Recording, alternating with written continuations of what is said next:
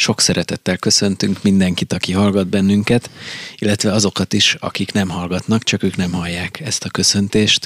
Én Gesztesi Máté vagyok, velem szemben Rúf Tibor. Szervusz Tibor! Szia Máté, és nagy szeretettel köszöntöm most is a kedves hallgatókat. Folytatjuk a jelenések könyvének felolvasását, amit konkrétan most azzal kezdenék, hogy felolvasom az adott szakaszt. Valamiféle összefoglalást szeretnél az eddigiekről esetleg nyújtani, vagy pedig ö, egyszerűen csak vágjunk bele?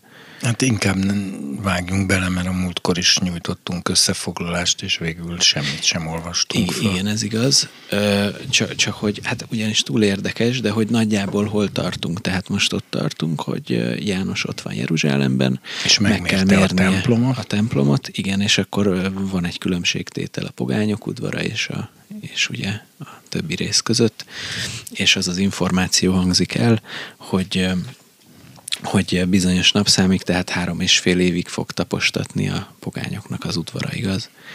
Ami pedig már ennek a gonoszságnak az eluralkodására utal, hogyha jól emlékszem. Uh, igen. És akkor innen, innen folytatódik. Két tanumnak pedig azt a feladatot adom majd, hogy profétáljanak zsákba öltözve 1260 napig. Ők az a két olajfa, és az a két mécstartó, amelyek a föld istene előtt állnak. Ha valaki ártani akar nekik, tűz jön ki szájukból, és megemészti ellenségeiket. Ha valaki ártani akar nekik, annak így kell megöletnie. Nekik van hatalmuk bezárni az eget, hogy ne essen az eső, profétálásuk napjaiban. Hatalmuk van a vizek fölött is, hogy vérré változtassák azokat, és hogy megverjék a földet bármilyen csapással, ahányszor csak akarják. Mikor pedig befejezik tanúságtételüket, a vadállat, amely a mélységből jön föl, háborút indít majd ellenük, legyőzi és megöli őket. Holttestük ott lesz annak a nagyvárosnak az utcáján, amelyet szellemi értelemben Szodomának és Egyiptomnak neveznek, ahol urunkat is keresztre feszítették. A népek törzsek, nyelvek és nemzetek közül valók látják majd holttestüket három és fél napig, és nem engedik sírba tenni őket. A föld lakosai pedig örülni és ünnepelni fognak haláluk fölött, és ajándékokat küldözgetnek egymásnak, mert ez a két próféta gyötörte a föld lakosait. De három és fél nap múlva az élet szelleme szállt rájuk Istentől, lábukra álltak, és nagy félelem szakadt azokra, akik látták őket. Ekkor egy erős hangot hallottak az égből, amely így szólt hozzájuk, jöjjetek föl ide! És ők fölmentek a mennybe a felhőben. Ellenségeik pedig látták őket. Abban az órában nagy földrengés támadt, a város tized része romba dőlt, és elveszett a földrengésben hétezer ember neve a többiek pedig megrettentek, és dicsőséget adtak a mennyistenének. A második jaj elmúlt, lásd, a harmadik jaj hamar bekövetkezik. Igen, hát ez a két tanú híres története, és ugye mivel a mi eredeti célkitűzésünk az az volt, hogy a jelenések könyvének az ószövetségi utalásait elsősorban fókuszba vesszük, és azon keresztül tárgyaljuk a, a dolog értelmét, amennyire lehetséges. Én azt javaslom, hogy akkor kezdjük ezzel, mert rögtön az első mondat, amit felolvastál, az már több, halmozott mennyiségben tartalmazza az ószövetségi utalásokat, amiket aki ért, tehát aki tudja, hogy az hova utal vissza, az ottani szövegkörnyezetből újabb információkat nyerhet ennek a szövegrésznek az értelmezéséhez. És e, e, ezek közül a, az első az, az talán a, a két olajfa és a két, két mécs tartó, nem? Ami, ami... Hát már maga a két tanúnak is van, ugye ószövetségi áthallása az a tórára, mint a két tanú alapkövetelménye minden igazság dolgában két vagy három tanúságtételre áll meg minden. Tehát az, hogy Isten a Földön ad kettő tanút ugyanarra az egy dologra, az, az is egy tórai áthallás, de ez mondjuk még viszonylag egyszerű. A két mécs tartó, két olajfa, az ugye már egy visszautalás, Zakariás könyvének az egyik látomására. Nem tudom, menjünk ebbe bele mélyebben. Szerintem feltétlenül, mert azt a képet, ami Zakariás könyvében van ott leírva, az én számomra nehezen értelmezhető. Nem tudom, hogy, hogy te meddig jutottál ennek a kérdésnek a feltárásában, de ott ugye, ugye, ha jól emlékszem, akkor arról van szó, hogy van egy menóra, és hét láng ég, és ezt a, ezt a menórát két olajfából érkező ö, arany kis csatornácskákon keresztül, és azon jövő olajból táplálja valami, vagy valaki, vagy szóval, igen. hogy van egy ilyen különös esemény, és akkor talán meg is magyarázza az akariás, hogy ő, vagy nem, ezt már nem, ez, ez, igen, a zsidók, e, hát a modern messiás elgondolások egy része tartja ezt a két messiásnak, vagy nem? Ezt teljesen rosszul mondom? Hát most, hogy a, hogy a zsidó értelmezések erre mik vannak, mert ugye itt ott mindig többféle is van, ez, ez most annyiban másodlagos, hogy először magát a bibliai szöveget érdemes megérteni, mert ott viszont úgy mondja, hogy ugye a, a két olajfa, amelyik a csövecskéken keresztül táplálja a hétágú gyertyatartót, arra már ott is mondja, hogy ezek ketten az olajjal felkenettek, akik az egész föld istenének színe előtt állnak. Most ugye, ha megnézed, hogy kik azok a proféták, akikről ez a kifejezés így, hogy az Isten előtt állnak, vagy az Isten színe előtt állnak, ez így szerepel személy szerint, akkor ugye az egyik Illés, aki első szolgálatakor úgy mutatkozik be, a Káp királynak, hogy él az Úr, akinek a színe előtt állok, hogy ebben az esztendőben sem eső, sem harmat nem lészen, csak ha én mondom. E, és ugye itt már is egy következő asszociáció is bejön, mert ezekről is azt mondja, hogy van hatalmuk bezárni az eget, hogy ne essen eső profétásuk napjaiban. 1260 napig, ami pont három és fél év, és láss csodát, Illés által hozott szárasság is pontosan három és fél évig tartotta az ottani leírás szerint.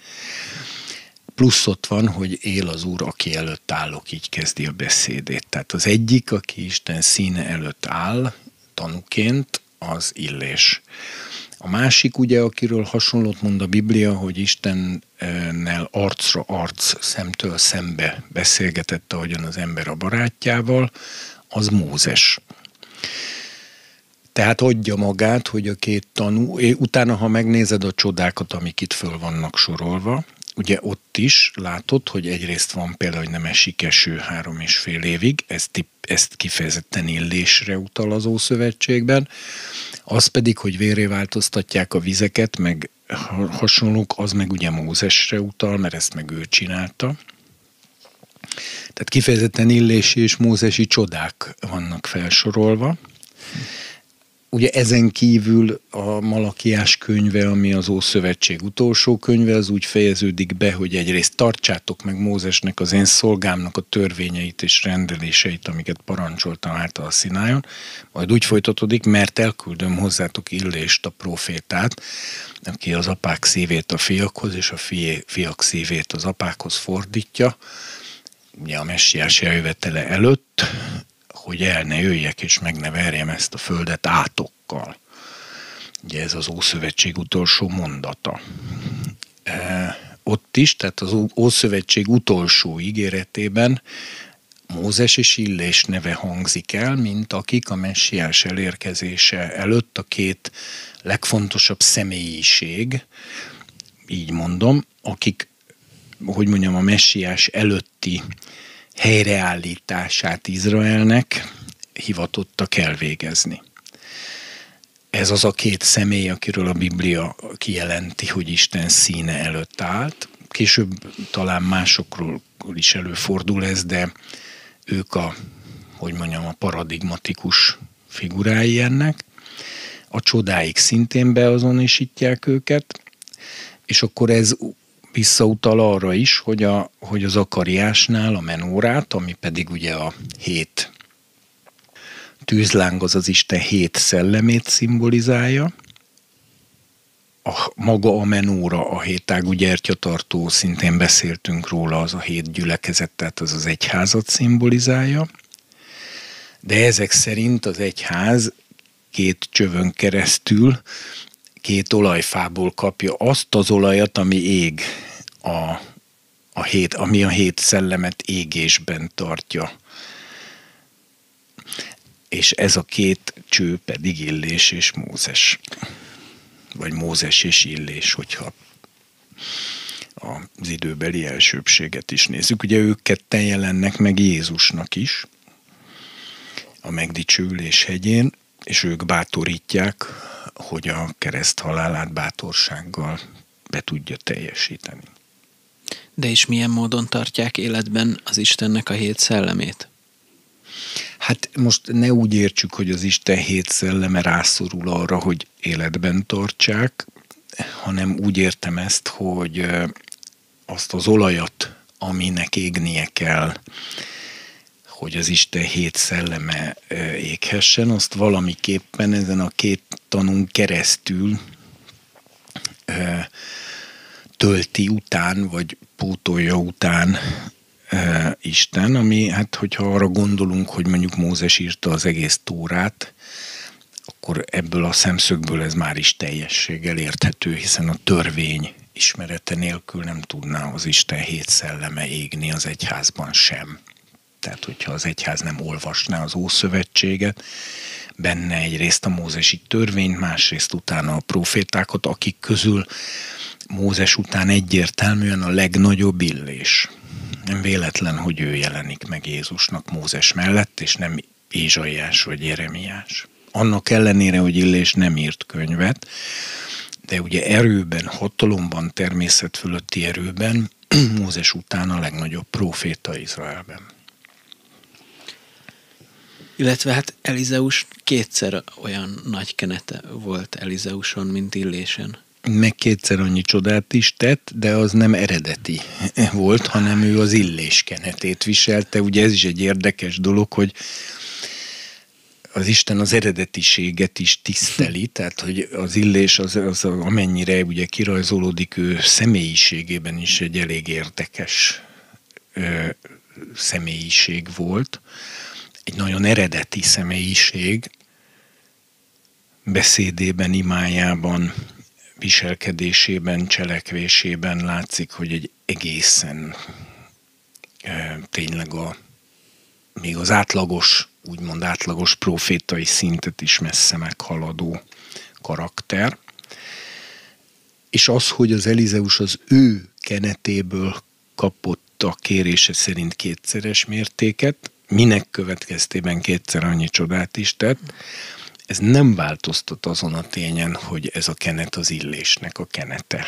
Ez az ő, ez az ő edényének volt igazából, az ő karakterének volt a, az egyéni kenete, hogy így mondjam, mert ugye amikor Illé, Isten talál, illetve nem csak talál, hanem formál magának speciális edényt, amiben speciális kenetet rak, az mindig teljesen egyedi és utánozhatatlan. Aztán később átvehetik ezt, Jézus is azt mondta az apostoloknak, hogy aki hisz bennem, az még nagyobb dolgokat is tesz annál, mint amiket én tettem.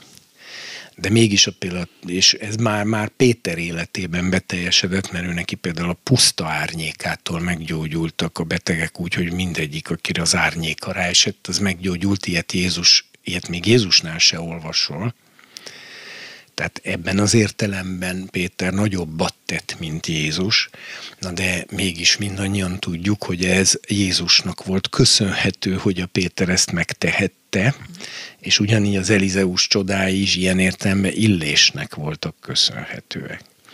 És ha megnézed a két személyiségnek a sorsát, akkor is látod, hogy az illés személyiségének a, az egyedisége, eredetisége és a súlya az más, mint az Elizeusé, az, illé, az illésnél olvasol olyat például, hogy amit ugye szokatlan egy profétától, hogy olyan depresszióba esik, hogy, hogy még angyalok se tudják, illetve csak második kísérletre tudják kirángatni a halálvágyból és a depresszióból.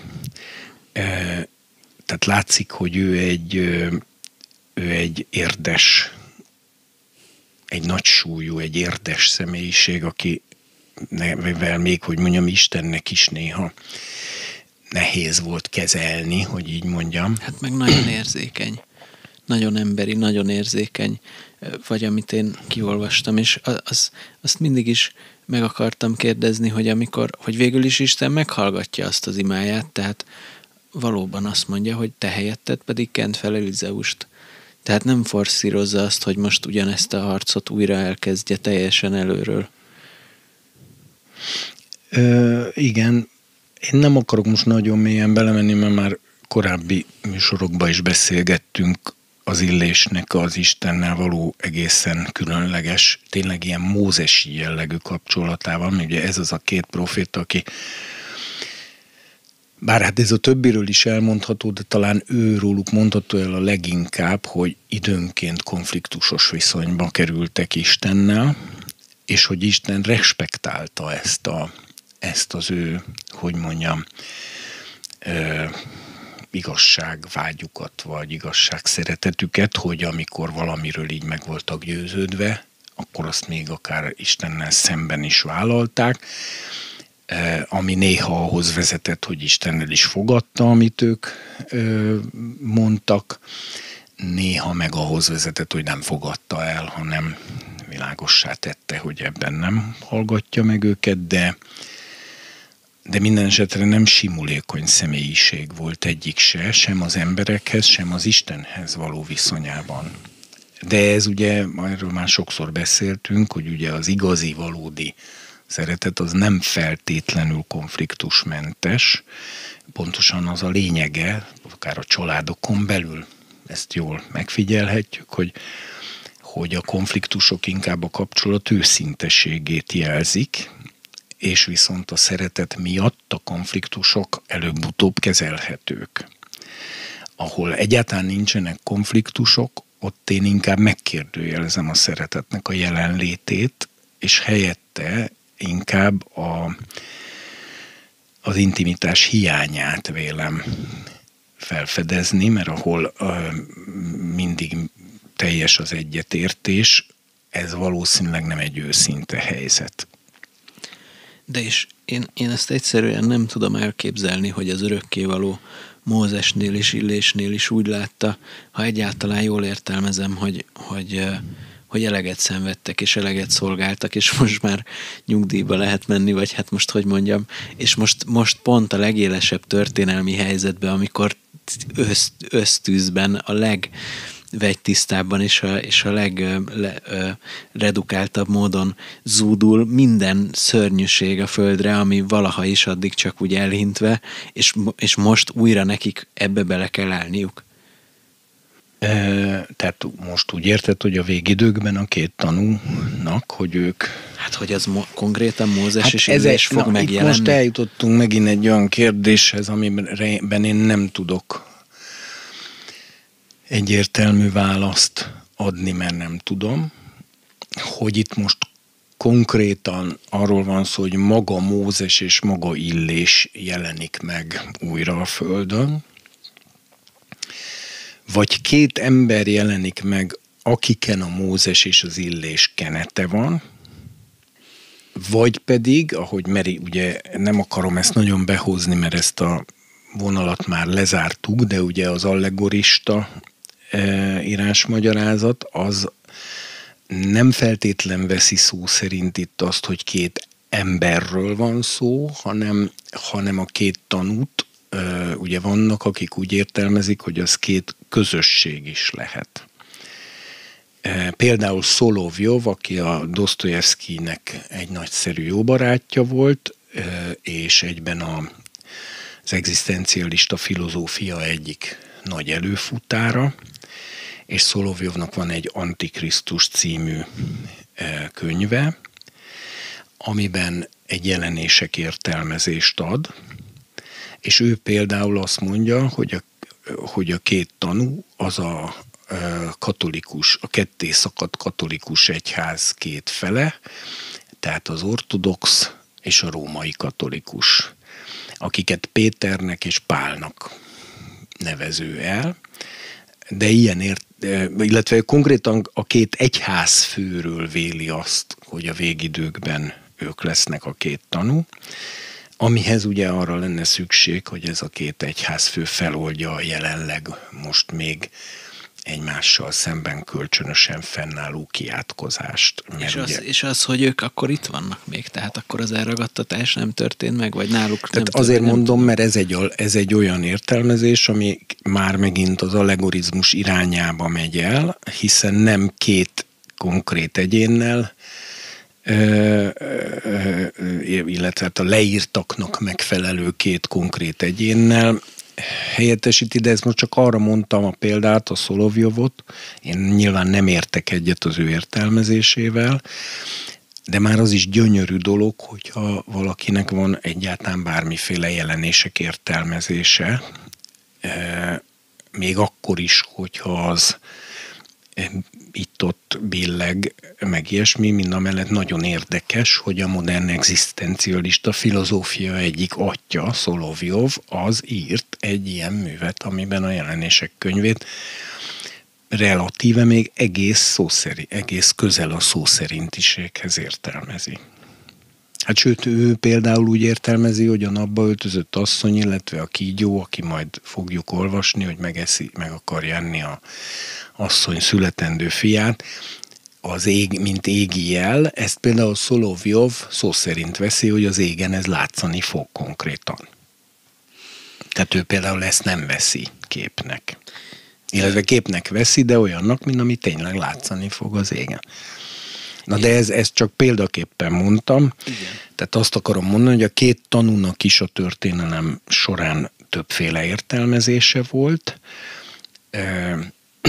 Én azért, és általában a premillenista, meg amiket az elején elmondtunk, futurista jelenések értelmezők, hát arról vagyunk meggyőződve, hogy ez két személy lesz, két konkrét ember, de az, az, az arra pro és kontra nagyon sok érvés ellenérv hozható, hogy ez lehet-e maga Mózes és Illés, vagy pedig két olyan ember, akiken a Mózes és az Illés szelleme van, mert mind a kettőre van bibliai példa. Ugye Mózes és Illés nem halottak, hanem megdicsőülve élnek Istennél, testben, tehát Illés ugye meg se halt, hanem elragadtatott. Mózes és pedig feltámadt. Mózes pedig feltámadt, meg ugye kizárásos alapon is, hiszen Jézus nem halott idéző, tehát neki nem jelenhettek volna ők meg, ha nem rendelkeznének megdicsült testtel. E, ez azt jelenti, hogy, hogy énokon kívül még két emberről tudjuk biztosan, hogy testben vannak, megdicsült testben vannak a mennyben, Mózes és Illés. Ugye ebből fakadóan el is jöhetnek, hiszen nem halottak. Tehát bármikor megjelenhetnek a Földön, sőt ugye a rabbinikus hagyomány szerint Illés rendszeresen meg is jelenik, mégpedig ilyen áruhás formában. Igen. Ez nem feltétlen hülyeség. Persze. Már a Bibliában is van egy eset, amikor sokkal az elragadtatása után élő és uralkodó királynak levelet ír, ugye, amit vagy úgy tudsz csak megoldani, hogy azt még életében megírta előre a levelet annak a királynak a konkrét bűneiért való konkrét büntetéséről, aki akkor még meg se született, amikor ő már elragadtatott. Ez is lehetséges mert minden lehetséges a proféták világában, de az is lehetséges, hogy az illés pillanatra visszaruccant a földre, megírta a levelet, és elküldte, majd újra távozott, hiszen arról volt híres már a föld életébe is, hogy rendszeresen elragadtatott, és utána nem ott került elő, ahol, ahonnan elragadtatott. Akkor ugye bejön még a képbe keresztelő János, akiről Jézus olyanokat mond, hogy ő illés. De hát keresztelő János foganását, születését leírja a, a Biblia, az új szövetség, tehát abban az értelemben biztos, hogy nem illés, hogy illés leszállt volna újra a földre. Igen. Talán a reinkarnációt is kizárhatjuk. Tehát hát a reinkarnációt az, hogy... ez esetben azért zárhatjuk ki biztosan, mert illés nem halt meg. Tehát ugye ahhoz, hogy ha lenne is reinkarnáció, akkor is csak a már meghaltak tudnak reinkarnálódni. Az lehetetlenség, hogy valaki, aki testben él, és nem halt meg, az reinkarnálódjon. Ezért butaság, amikor a keresztelő Jánosra hivatkoznak, és ezzel akarják bizonyítani a reinkarnációt, mert akkor abból indulnak ki, hogy Illés meghalt. De hát a Biblia világosan beszél arról, hogy Illés nem halt meg. Ebből viszont az, és aztán az új szövetség fogalmaz is úgy, hogy az illés szelleme lesz rajta. Ugye talán Zakariásnak, az apjának mondja ezt, hogy illés szellemével és erejével jár az Úr előtt, hogy az apák szívét a fiakhoz, a fiak szívét az apákhoz fordítsa. Ez viszont arra mutat példát, hogy bizony az a verzió is lehetséges, hogy föllép egy ember, akin az illés szelleme és ereje van, mert ha lehetett keresztelő Jánoson, megelőtte lehetett már Elizeuson is, akkor miért ne lehetne még máson is, tehát akkor ez így oldódik meg. Na most, ha ugye, bocs, hogy így részletesen következtetek, de hogyha maga Mózes és Illés lenne saját testében újra visszajöve a földre az égből, akkor viszont hogy tudja őket megölni a fenevad? Mert azt olvastuk, hogy utána megöli őket a fenevad, és a holttestük temetetlen fekszik az utcán, tehát hogy lehet megdicsőült testben lévő embert megölni. Ez az, ami a legnagyobb kérdőjel, ha valaki azt mondaná, hogy ez maga Illés meg Mózes lesz, talán ez inkább kicsit arra mutat, hogy nem Illés és Mózes lesz személyükben, hanem két olyan nyilvánvalóan zsidó proféta lesz Jeruzsálemben, akik közül az egyiken a Mózes szelleme van, a másikon pedig az Illés szelleme. E, ugye gyászruhákban vannak, azt nem már tudni, hogy ugye a zsidóságban a gyászruha színe a fehér, az sem lényegtelen, hogy a gyászruha eh, hagyományosan ugye egy durva szövésű, kellemetlen viseletű ruha volt, tehát a zsákruhának is ugye mondják máskor, mert ilyen zsákszövetszerű, direkt azért, hogy ne legyen kellemes. Ugye a csodáikról már beszéltünk, hogy az mindegyik ószövetségileg áthallásos, mert csupa mózesi és illési csodára utal vissza. Itt ugye azt mondja, hogy hatalmuk van, hogy megverjék a földet bármennyi csapással, ahányszor csak akarják. Tehát ez azt jelenti, hogy a hit ajándékával rendelkeznek. Tehát ők döntik el, hogy mikor, mennyire verik meg a földet a beszédükkel. Ugyanúgy, ahogy Illés mondta, él az Úr, aki előtt állok, hogy ezekben az években nem lesz sem eső, sem harmat, csak ha én mondom.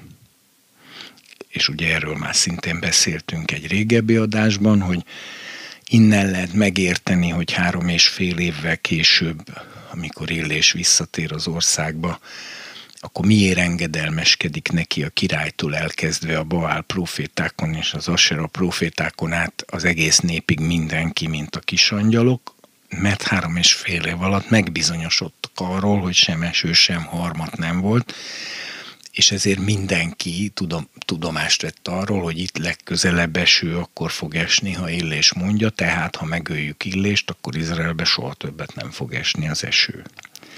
Ugye ez a hit ajándékának a lényege, amikor, amikor Isten emberi hatáskörbe, nem akárki, hanem ezen emberek hatáskörébe helyez dolgokat, amiket ők dönthetnek el.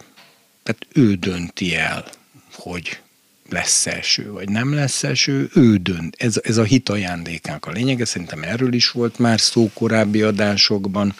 Ez nem a csodatevő erők ajándéka, és nem a más, hanem a hit ajándéka, aminek az a lényege, hogy Isten egyszerűen fölhatalmaz, tulajdonképpen megbizatást ad, ez azért is lényeges, mert ugye a Héberben, görögben a a hitre vonatkozó szó, az megbizatást is jelent ugyanaz a szó. Tehát a hit ajándék az úgy is fordítható, hogy a megbizatás ajándéka, tehát amikor Isten azt mondja a szolgájának, hogy rád bízom ezt az ügyet, döntsd el, hogy hogy oldod meg. Megkapsz hozzá mindent. És akkor megy a profét, és ő dönti el, hogy most mivel, hogy nem engedelmeskednek az igének, akkor most él az urak előtte. Állok, hogy se első, se harmat nem lesz, csak ha én mondom. Ez a hit ajándékák a lényege, és ez a, szoktak erről írni karizmatikus szerzők, hogy ez a legmagasabb szintű erőajándék, pont azért, mert tulajdonképpen egy kitöltetlen csekket kap aláírva, egy Bianco csekket a, a proféta, vagyis a, ez azt jelenti, itt tulajdonképpen mindig úgy szoktuk ezt megfogni, ezt a hit ajándékának a lényegét, hogy ő kap egy egészen különleges természet fölötti bizalmat Istenben.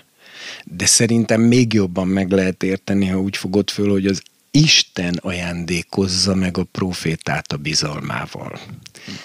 Mert az, hogy rád bizom, itt van bezárhatod az eget, véré változtathatod a vizeket, ezeket a fegyvereket kapod, old meg a helyzetet, belátásod szerint használd.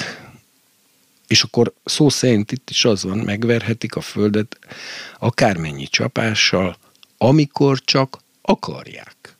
Tehát nem, hogy Isten akarja, amikor ők akarják. És ugye ezt észre is fogják venni az emberek. Mert Illés például ezt annak idején sem titkolta el, hogy ez az ő döntése, hogy itt most fog esni eső, vagy nem fog. Ezért is mondta azt neki a király, hogy te vagy az Izraelnek a tönkretevője, miattad nem esik az eső. És ilyenkor, ahogy itt le is írja, az emberek a profétára haragszanak meg, mert hogy gyötri az embereket ezekkel a büntető ítéletekkel. Tehát így, így meg lehet érteni, hogy, hogy a, a elsősorban önmagát jól érezni kívánó és meglehetősen mély bűnökbe süllyedt emberiség felháborítónak fogja tartani, hogy fellép néhány ilyen vallásos szentvazék vas, általuk vaskalapos szentvazéknak minősített szörnyeteg, akik egyszerűen azt fogják mondani, hogy igen, továbbra se tértek meg ebből, meg ebből, meg ebből, akkor most három és félig nem isik az eső. Csak ha én mondom. Na most hát nyilvánvaló, hogyha az emberek számára világossá válik, hogy nem csak beszél, hanem tényleg az történik, meg véré válnak a vizek, meg egyéb csapások érik a földet az ő szavukra, az ő döntésük nyomán, és ez mutatja az ő ezt az ő két olajfa jellegüket, akik az egész föld istene előtt állnak és táplálják a menórának a mécseseit olajjal, mert ő nekik van ilyen saját hatáskörük. Tehát ők az Isten barátai, hogy így mondjam. Ugye Mózesnek mondja is ezt. És, és bocsáss meg, csak ehhez képest a csodatétel az az, amikor Isten tesz egy csodát, és a, az ember ezzel együtt működik. A csodatevő erők ajándéka, ugye a karizmatikus irodalomban is, meg hát úgy tűnik azért a Bibliában is, bár ott nincsenek ezek ugye ennyire élesen elhatárolva, de itt most ebben nem akarok belemenni, teológusok igyekeznek mindig pontosan elhatárolni a dolgokat, az igen nem igyekszik mindig pontosan elhatárolni a dolgokat. A csodatevő erők ajándéka az inkább az, amikor Isten ö, mutatja meg a profétának, hogy ő, Isten ezt és ezt akarja tenni, és ennek érdekében a proféta ezzel működjön együtt. Ott ő egy isteni akarattal és az annak nyomán kijövő erővel működik együtt. Jézus erre mondja, hogy a fiú semmit sem tehet magától, amíg nem látja cselekedni az atyát. És ugye a csodatevő erők ajándéka, ami egyébként a görögben ugye egyszerűen csak erők, ajándéka, tehát ez ugye azért lényeges, mert például a, a démonűzés az például ebbe a kategóriába tartozik. Azok er, az erő megnyilvánulások csodának mondja a Biblia, tehát nem csak arra kell gondolni, mikor mit tudom én, véré változnak a vizek, vagy borrá változik a víz, vagy ilyesmi, hanem de ezek mind csodák, de amikor az, ez az Isten indítatására történik, és az, a profétának ebben csak annyi döntése van, hogy együttműködik-e vagy nem, de nincs önálló hatáskörben meghozható döntése, az az, az, az erők ajándéka, vagy a gyógyítás ajándéka. Gyógyítás sok ajándékai, ott is úgy van többes számba. A hit ajándékánál ott látszik, a Kenneth Hagin ugye úgy fogalmazza meg, ezt már régebben is mondtam, azt hiszem itt műsorban, hogy a hit ajándéka az, amikor egy ember arra kap hitet Istentől, hogy amit ő kimond, tehát ő, az ember kimond, azt Isten úgy fogja tekinteni, mintha ő maga mondta volna. Most ez egy óriási bizalmat jelent. Tehát ez azt jelenti, hogy ez a két tanú, ez döntési jogkörökkel van fölruházva az Isten birodalmában. Főnökök ott, hogy így mondjam, természetesen az Atya, a Fiú és a Szent Szellem uralma alatt, de úgy, ahogyan egy vezérigazgató is a bizalmasait mondjuk kinevezi főosztályvezetőnek, és utána a főosztályvezető egy csomó dologban már saját hatáskörben dönt, nem kell mindenben megkérdeznie a vezérigazgatót, mert akkor nem is volt értelme őt kinevezni pont azért nevezik ki a főosztályvezetőt, hogy ne kelljen minden ügyel a vezérigazgatónak foglalkoznia, és ezért a vezérigazgató pedig, vagy a tulajdonos keresi azokat az embereket, hogy kik azok, akikben annyira meg tud bízni, hogy a saját döntési jogköreinek egy részét átadja nekik. Na most Isten ilyen értemben, és ez nagyon jól látszik a, mind a Mózes, mind az Illés egész élettörténetéből, hogy Isten annyira megbízhatónak tekintette ezt a két embert, hogy emiatt megajándékozta őket azzal a hittel, hogy bizonyos hatáskörben maguk döntenek például ilyen ítélő csodák megtörténéséről. Ezt végig láthatod az Illés szolgálatában is, meg a Mózes szolgálatában is. És akkor ők azon a helyen lépnek föl, ami Szodomának és Egyiptomnak is valamilyen módon a szell, tehát szellemileg ennek nevezhető, vagyis a, a szexuális erkölcstelenségeknek és az okkultizmusnak gondolom a legmagasabb foka, vagy hát nem tudom, de hogy ez Jeruzsálem is egyben? Persze, de ez, ez megint egy jó szövetségi áthallás, nem nevezhető, Szodomának és Gomorának, hanem Ézsaiás könyvének az első fejezetében kategorikusan Szodomának és Gomorának szólítja a jeruzsálemi vezetést. Többször is egymás után. És ez erre utal vissza, hogy, hogy annak nevezik Egyiptom. Hogy szellemben, szellemben. Ö, igen, mert, a, mert az Ézsaiás ott teljesen világos, hogy Jeruzsálemhez beszél és Judához, de mégis Szodomának és Gomorának nevezi őket. De ugyanúgy föl lehetne lelni azt, ahol meg Egyiptom. E, úgyhogy itt, itt nem arról van szó, hogy, hogy a János, ahogy szokták néha mondani, e, valami újfajta antiszemita e, megfogalmazást adott, ezáltal hanem ő egy ézsajás proféciára utalt. Én egyszer egy ultraortodox Chabad, nem Chabad, hanem Haredi, de nem Chabados barátommal vitatkoztam, mert azt mondta nekem, hogy a Pálapostól szerinte antiszemita volt. Kértem, hogy mutassa meg azokat az igehelyeket, amelyekből erre a következtetésre jutott. Megmutatta, utána fölmondtam, jó, akkor olvassuk el az Ézsajás egyet, elolvastuk, és utána megkérdeztem, hogy szerinted melyik antiszemitább a két szöveg közül, mire elismerte, hogy az Ézsaiás az antiszemitább, és utána hozzátette, eh, kizárólag ultraortodoxoknál tapasztalható humorérzékkel, hogy na látod, ezért nem olvasom én a profétákat.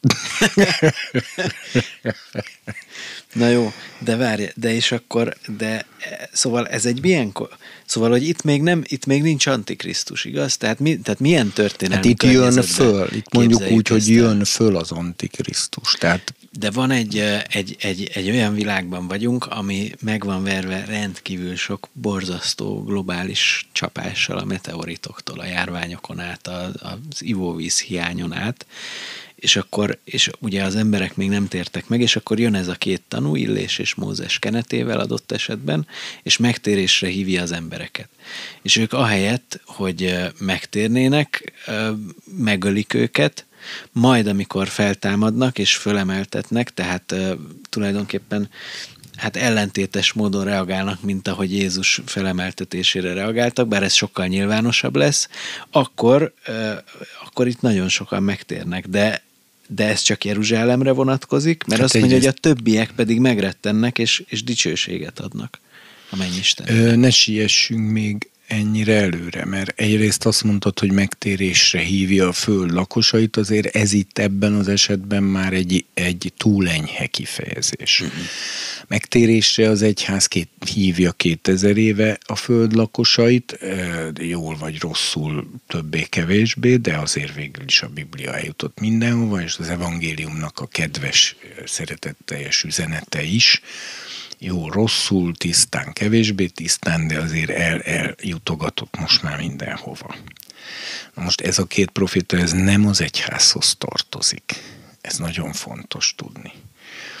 Ők az Ószövetségi Izraelnek a személyiségei és szellemiségei, hogyha most nem a szemét nézem.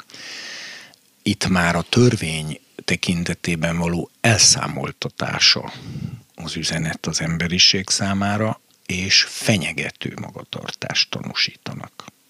Tehát az, hogy csapásokkal verik meg a földet, és hogy aki megpróbálja őket megölni, azt a szájukból kijövő tűzzel égetik el, ez nem barátságos magatartás. Ez a két proféta már a kegyelem korának a végén, a legvégén lép föl, és az ultimátumot adja át az emberiségnek azért vannak ö, gyászruhában, mert az üzenetük már nem pozitív. Az egyház üzenete az a, az Isten, kegy, ugye így mondja Pál az Efézus 1-ben, hogy az egyház az Isten kegyelme dicsőségének a magasztalására lett elhívva. Az egyház korszaka az, amely az elmúlt 2000 évben az Isten irgalmát, kegyelmét, szeretetét, mint evangéliumot hirdeti az emberiség számára de elejétől fogva világossá volt téve, hogy ez nem tart a végtelenségig, hanem jön egy pillanat, amikor Isten elszámoltatja az emberiséget, eh, hogy a kegyelemre és megtérésre kapott 2000 évet, vajon megtérésre fordította-e az emberiség? Na most, most látjuk, amikor ez a 2000 év éppen lett előben van már, hogy az emberiség nem meg többségében nem megtérésre eh, fordította a kapott kegyelmet, eh, és már most is az egyház, bár még szeliden, de azért egyre határozottabban, legalábbis ha engedelmes az egyház, akkor figyelmeztetnie kell az emberiséget arra, hogy ebből baj lesz. Tehát, hogy az Isten irgalmát ne értsék félre, az Isten irgalma nem arra adatik, hogy mindenki örökké azt csinálhat, amit akar, e, nem arra adatik, hogy nyugodtan élhetünk bűnben, mert hogy bűnbocsánatot szerzett számunkra Jézus Krisztus vére, hanem az Isten kegyelme és irgalma az arra adatik, hogy kapjunk időt a megtérésre. De ez a megtérés ez akárki, akárhogy csűri és csavarja, ez végső soron az Isten törvényéhez való megtérést jelenti. Tehát azt nem módosítja Isten senkinek a kedvéért. Na most ez a két profita pontosan ezért is lesznek végtelen népszerűtlenek. Mert végtelen népszerűtlenek lesznek, hiszen amikor ugye összesen három és fél évig tart a tanúságtételük, és a mélységből feljövő fenevad öli meg őket, vagyis ebből tudhatjuk, hogy az utolsó évhét első felében tart az ő tanúságtételük, mert a mélységből feljövő fenevad az ugye a, az évhét közepén jut világhatalomra, és ugye akkor öli meg őket. Hát igen, most eljutottunk eddig a kérdésig, hogy ez mit jelent valójában, hogy a mélységből feljövő fenevad. Hát most első megközelítésben hadd válaszoljak erre csak annyit, hogy ez az Antikrisztus, mert ugyanis a következő fejezet az azzal fog kezdődni, vagy a tizen... Igen, a következő fejezet ben indul el az, hogy a szülő nő, a sárkány, majd pedig a sárkány a földre vettetik, és akkor följön a tenger mélyéről egy fenevad, egy vadállat, akinek a sárkány átadja minden hatalmát és erejét, és aki egyszerre egy birodalom is, meg egyszerre ennek a vezetője egy személy is, amit ugye gyakran látunk a Bibliában, hogy a birodalmat és a személyt egynek kezeli. Például a Dániel azt mondja Nabukodonozornak, hogy ó, király Nabukodonozor, te vagy az aranyfej. Te utánad más birodalom támad, nálad alá való, az a ezüst melkas, ugye az a Médperzsa birodalom, tehát a birodalom és az uralkodó, az ugye a bibliai megfogalmazásokban sokszor van egymásra vetítve, vagy egy képben kezelve. Úgyhogy én azt mondanám, hogy a fenevad, vagyis a vadállat, ugye mai magyar szóval ez vadállat, taglalását, azt még hagyjuk majd akkorra, hogyan ez kibontakozik, mert ott bőven tudunk majd erről beszélni, amikor a fenevad följön. Ugye fogjuk látni, hogy pár duc teste van, de oroszlán szája és medve talpa, ezek ugye mind szimbólumok, tehát rengeteg olyan dolog lesz, amiből majd ennek a birodalomnak, illetve ennek a személynek a természetrajzát pontosan rekonstruálni tudjuk, de most csak annyit mondhatunk, hogy a világhatalomra jut, tehát a teljes globális világuralomra jutása az Antikrisztusnak, az csak az utolsó évhét felén várható. Viszont az első felében, amiről ugye eddig is olvastunk, ahol a pecsétek, kürtök csapásai lezajlanak, az első felében ott ez a birodalom még csak emelkedőben van. Tehát eleve ugye óriási gyorsasággal, tehát így is az, hogy, hogy, hogy egy relatíve kisebb ö, politikai entitás ö, világhatalomra nő három és fél év alatt, az egy rendkívül gyors tempó. Erre fog utalni egyébként az, hogy a teste párduc, mert az a Nagy Sándor birodalmának volt a képe Dánielnél, és ugye a Nagy Sándor is arról volt híres, hogy hát 33 éves korára az egész közel-kelet ura volt, tehát hogy olyan gyorsasággal hódított, hogy az, az soha előtte birodalom nem volt, amelyik ilyen sebességgel terjeszkedett volna, mint a Nagy Sándor. Dániel máshol ugye úgy írja le, hogy olyan gyorsasággal érkezik nyugat felől, hogy a lába se éri a földet. Szó szerint lerohant a Perzsiát. Ugye a Nagy Sándornak volt egy taktikai trükkje ami teljesen új volt a korabeli hadviselésben, és annyira meglepett minden hadsereget, hogy mindegyiket rendkívül gyorsan megverte, mert senki se számított erre a trükkre. Ennek az volt a lényeg, hogy a teljes erejét összpontosította a hadseregben az uralkodó személyére. Tehát nem foglalkoztak a többi katonával, hanem az egész haderőm egy jégbe ment, és az uralkodót kicsinálta, és vége volt a csatának.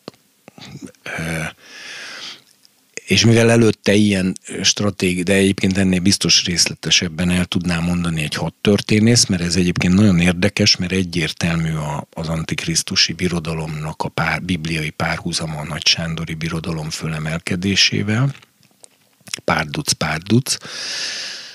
Párduc vagy gepárd, mert a, ugye a bibliai nyelvek nem különböztetik meg a kettőt, e, sőt, most jelent meg a Studia Biblikában a Szent Pál Akadémiának a tudományos folyóiratában, most vagy egy számmal ezelőtt, nem is tudom, e, Grül Tiborni Csalog Eszter tollából egy fantasztikus tanulmány, ahol az ókori bibliai állatneveket azon keresi az azonosságát a, a mai zoológiai kategóriákkal, és ott is tárgyalja azt, hogy ez a leírások szerint minden bizonyal ö, gepárdról van szó. A gepárd az ugye ö, 120 km per órás sebességgel támad. Ezt csak 10 másodpercig bírja, de ha ügyes, és ezért kell ugye lesben nagyon közelbe cserkészni az áldozatát, és hogyha ez mind sikerül, akkor azért 10 másodperc alatt 120 km per órás sebességgel ugye nincs olyan földi négylábú állat, amelyik ezt a sebességet tartani tudja. Tehát ez messze felül múlja a lovakat, és ugye a Jeremiás is azt mondja, hogy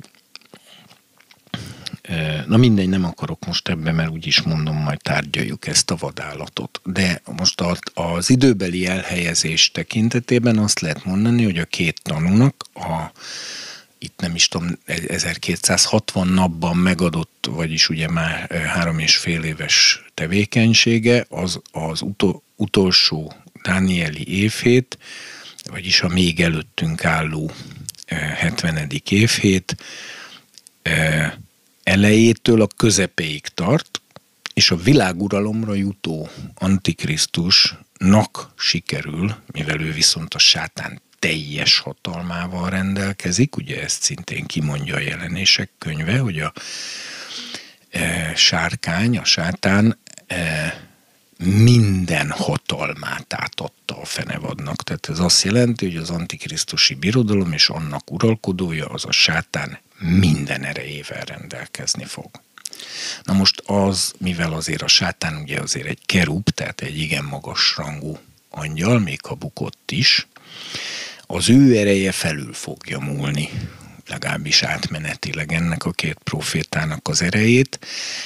Az Antikrisztus úgy tűnik nem tudják, vagy nem akarják a szájukból kijövő tűzzel elégetni, ahogyan a többi ellenségeiket hanem az Antikrisztus képes arra, hogy őket még ezt a két fantasztikus kenetben lévő profétát is ki tudja végezni. Hát meg lejárt az idejük.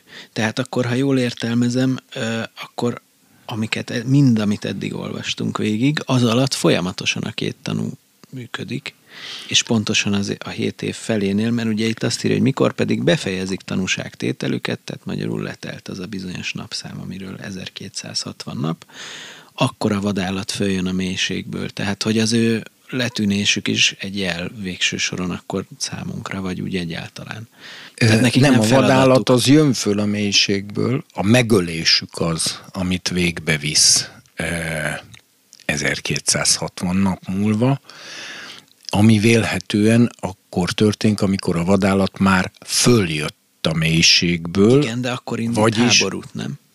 Tehát én szövegértésileg ezt úgy értelmezem, hogy, amikor, tehát mikor befejezik tanúságtételüket, az a vadállat, ami egyébként a mélységből jön föl már egy ideje, föl már egy ideje, háborút indít majd ellenük, legyőzi és megöli őket. Tehát aztán jön a háború, miután letelt az idejük és a megöletésük.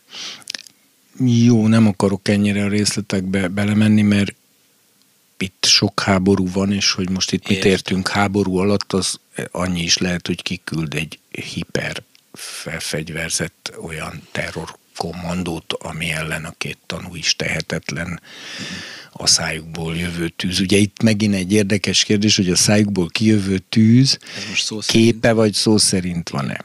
Ha kép, akkor egyértelmű, hogy a kenet alatt hirdetett igét jelenti, mert arról Jeremiás is azt mondja, hogy vagy az én igém azt mondja az Úr nem olyan, nem, mint a tűz. E, e, meg ugye a Szent Szellemnek is képe a tűz, tehát ugye, ha nem szó szerint vesszük, hanem képnek vesszük, akkor itt arról van szó, hogy ez a két ember olyanokat tud mondani az embereknek, kinek-kinek azt, amit kell neki, hogy beleholnak, amikor meghallják, amit mond nekik. Tehát nyilván olyan kijelentés, meg egyéb szinten vannak, valószínűleg látják annak az embernek, aki ellenük támad az összes sarát, bűnét, mindenét, és hogyha nagyon ugrál, akkor, akkor egyszer mondanak néhány olyan mondatot, hogy az illető nem éli túl. Hát ilyen van a, a, az új szövetségben is, amikor mármint hogy az apostolok cselekedeteiben, mikor Péter megszólal és meghalnak azok az emberek. Például, igen. Ha viszont ezt is szó szerint vesszük, ehhez én egyébként nem ragaszkodom, tehát én el tudom fogadni, hogy a jelenésekben E, ilyesmi az lehet kép, hiszen Jézusról sem gondolom, hogy egy szó szerint értelembe vett kard jön neki a szájából, hanem nyilvánvalóan az is az igét jelenti. Tehát ugye ez, ez a nehéz a jelenésekben, hogy a szó szerintiség és a képiség az, az állandóan átjátszik egymásban, mert egyszerre mutatja a fizikai valóságot, meg az a mögött lévő és azt irányító és azt átítató szellemi valóságot, és mivel a két kép egymásra vetül, ezért néha nagyon nehéz eldönteni, hogy mit vegyünk szó szerint és mit ne Úgyhogy én ezt nem is tudom eldönteni, és nyitva is hagyom a kérdést. Végül is egyébként annak a szempontjából, aki meg, megöletik, teljesen mindegy lesz, hogy néhány mondatba le bele, vagy pedig éppen tűzégeti el. Meg egyébként például, ha a szégyenre gondolok, tehát, hogy mert lehet olyan, hogy valaki belehol a szégyenbe, tehát, hogy úgy beszól neki a proféta, hogy egyszer nem éli túl, tehát szívinfarktust kap a, a megszégyenüléstől. Az tűzszerű élmény, a magyarban is úgy mondjuk, hogy égés, ez nagy égés volt, és fizikailag is egyébként, aki élt már át nagyfokú szégyen, meg szégyenülést vagy gyalázatot, az tudja, hogy tényleg szó szerint tűzszerű érzés önti el ilyenkor az embernek a testét, és nagyon gyakran ugye ezért el is pirulnak az emberek, mert a, mert a véráram ezzel az égésszerű érzéssel, tehát ez egy fizikai érzés is, és ugye elképzelhető, hogy valakinek olyat mond valaki, hogy, hogy azonnal szívinfarktust kap például. Úgyhogy ezt nyitva hagyhatjuk ezt a kérdést, hogy itt most ez szó szerinti tűze vagy nem, mert tulajdonképpen mindegy, mert így is úgy is tűz. Tehát... De ami viszont kevésbé mindegy, az az, hogy, és engem ez mindig megdöbbent, vagy látok ebben egy ellentmondást, hogy ugye feltehetően az, hogy ugye erről te is beszéltél már, hogy, hogy ahhoz, hogy egy globális diktatúra kialakuljon, ahhoz szükséges az a fajta tömegkommunikációs hálózat, amit, ami ugye az internet meg ezek jelentenek a mai korban. Tehát, hogy viszont viszont itt, itt, itt mégiscsak elképesztő kataklizmák érik a Földet, de mégis mindaz, amit a proféták tesznek, illetve ennek a birodalom nak is a felemelkedése feltételezik, hogy, hogy zajlik a tömegtájékoztatás, és zajlik, az, vagy nem tudom, hogy feltételezi ez, akkor ez az első kérdés.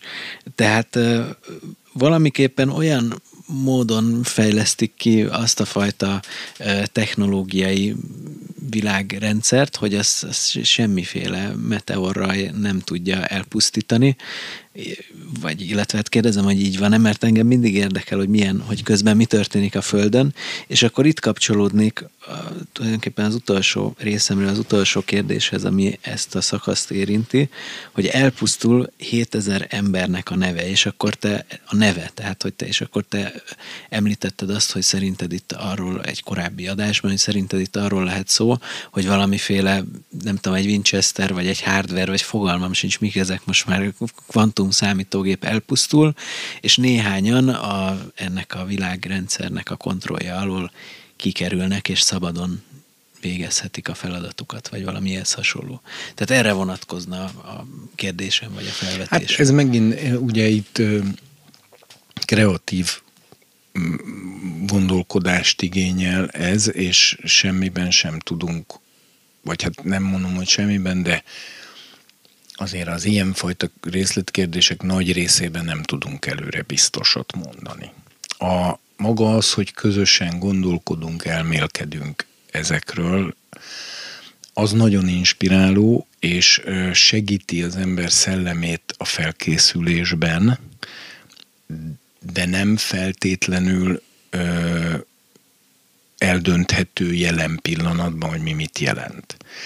Az egy nagyon különös kifejezés, hogy elveszett 7000 ember neve, és ugye ezt a legrégebbi időktől fogva kommentálják szintén a jelenések magyarázók, ókeresztény kor óta, meg, meg az mindvégig.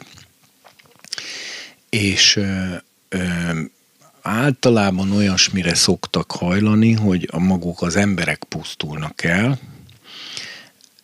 és ezt fejezi ki a szöveg azzal, hogy a neve, és hogy ez esetleg valamiféle örök elveszést jelent, abban az értelem, tehát hogy nem csak meghalnak, hanem hogy tényleg örökre elvesznek, mert hogy még a nevük is elveszik.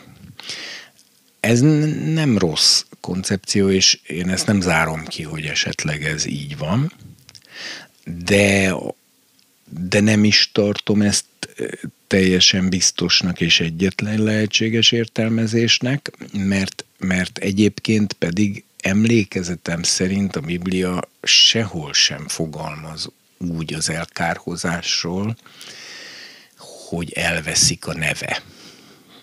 Ráadásul itt ugye Mózes és Illés szolgálnak, és ugye Illés idejében volt pontosan az, hogy Illés úgy érezte, hogy ő teljesen egyedül van, és mindenki elhagyta az urat, csak ő nem, és erről panaszkodott Istennek, és erre Isten azt mondja, hogy hát ez nem így van, mert meghagytam még 7000 embert, akik nem hajtottak térdet a Baálnak. És ezzel ugye jelezte Illésnek, hogy nem vagy egyedül, még van 7000 olyan ember Izraelben, eh, aki, a, aki veled egy szellemben van. Na most itt, amikor megint illésről beszél, érdekes módon megint 7000 ember kerül elő. Egyébként Pál is beidézi ugyanezt a Róma levélben, amikor azt mondja, hogy akkor talán elvetette Isten az ő népét? Távol legyen, hiszen én magam is izraelita vagyok, Benyámin törzséből való, nem vetette el Isten a népét, melyet eleve ismert, vagy talán jobb lenne úgy fordítani, hogy akiről előre tudott mindent, magyarul Istent egyáltalán nem lepte meg az, hogy Izrael engedetlenségbe került, hiszen hát nem tudjátok, hogy mit mond az írás illésnél, az illésről szóló résznél, és ott beidézi, hogy meghagytam még 7000 embert, akik nem hajtottak térdet a Baálnak. Ekképpen most is van maradék a kegyelemből való kiválasztás szerint. Tehát nekem itt a, a konkrét biblikus áthallások inkább arra utalnak, hogy ez a 7000 ember, ez a jó oldalra eső maradéka talán éppen a jeruzsálemi vagy izraeli lakosságnak, és ezért gondolnám esetleg azt, hogy ez a, hogy ez a példa nélkül álló és nagyon furcsa kifejezés, mondta, hogy elveszett a nevük, hogy ez akár egy, mert ugye közben máshol megolvassuk, hogy egy totális gazdasági kontrollnak a kiépítése sét valósítja meg az antikrisztusi birodalom, amihez az emberek adataira van szüksége.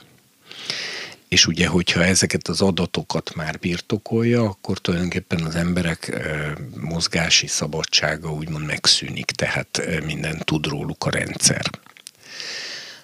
És egy olyan, ez ma is így van, sajnos már nagyon nagy mértékben, hogy ugye a, a bankkártyás fizetés, a, a telefonos információk, a Facebook és egyéb közösségi oldalak, stb. stb. Tehát bármelyik titkos szolgált, ha valakiről valamit meg akar tudni, akkor ezeken az adatbázisokon dolgozva még azt is meg tudja állapítani, hogy az illető a benzinkútnál hol volt, mikor volt, és ott mennyiért mit vásárolt, amiből egyébként egy embernek a teljes életét föl lehet térképezni abból, hogy mit vásárol.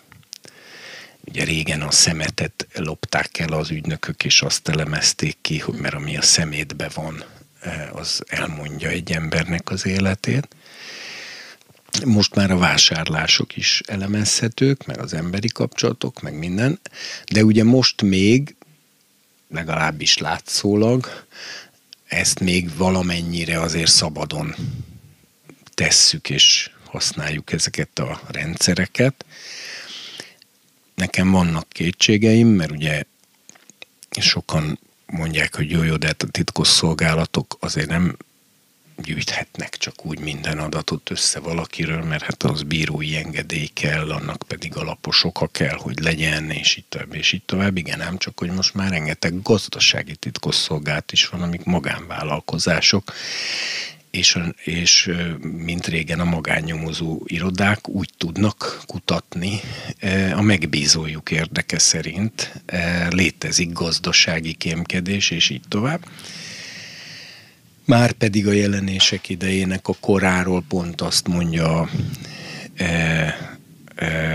a jelenések könyve, hogy abban az időben a, ugye a Nagy Babilonnak mondja, hogy a te kalmáraid voltak a föld fejedelmei, tehát az utolsó idők társadalmára egyértelműen az a jellemző, hogy a kereskedők az igazi vezetők.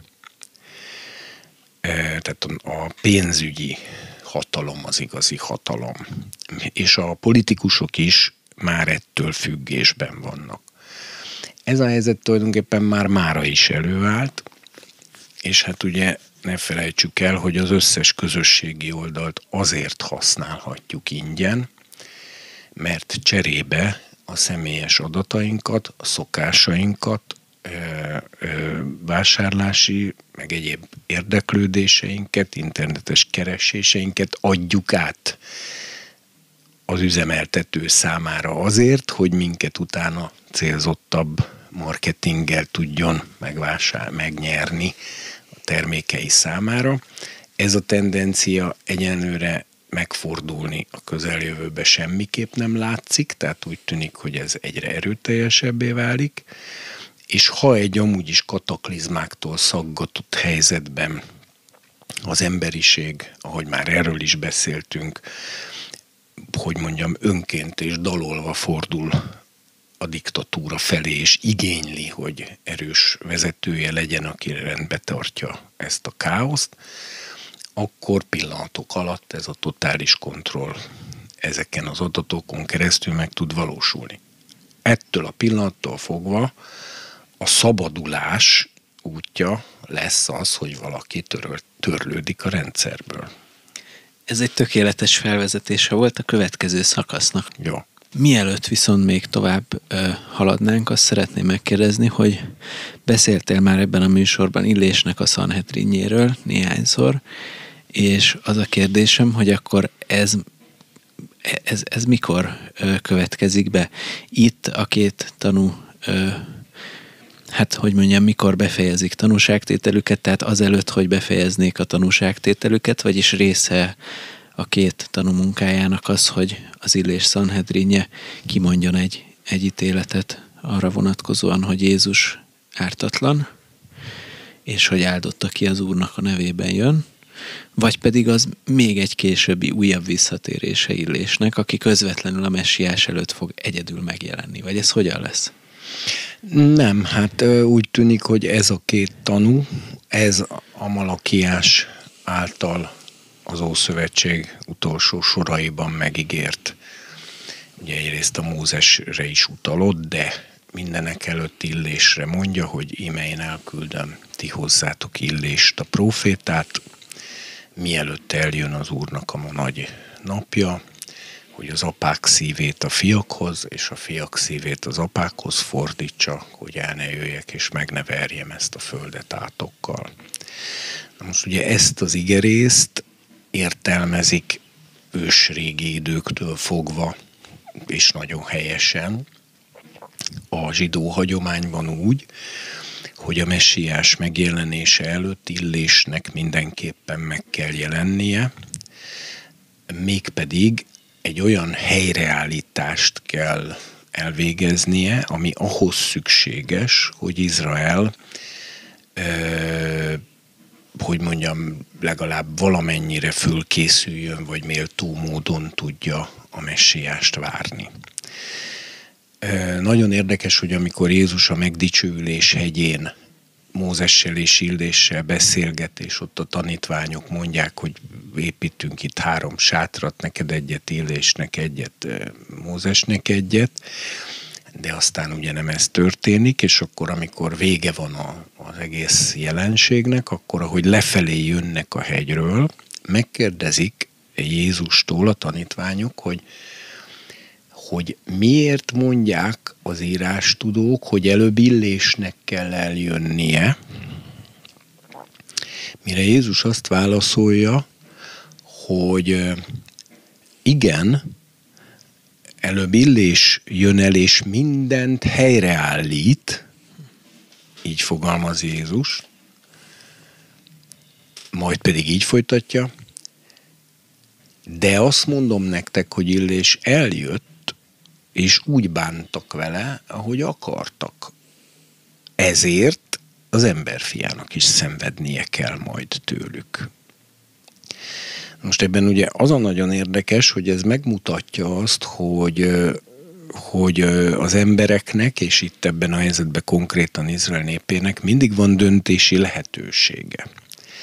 Ha a messiás előtt elérkező illésre hallgat, akkor Illés helyreállítja a népet, és akkor a messiás a nép javára érkezik, és nem kárára.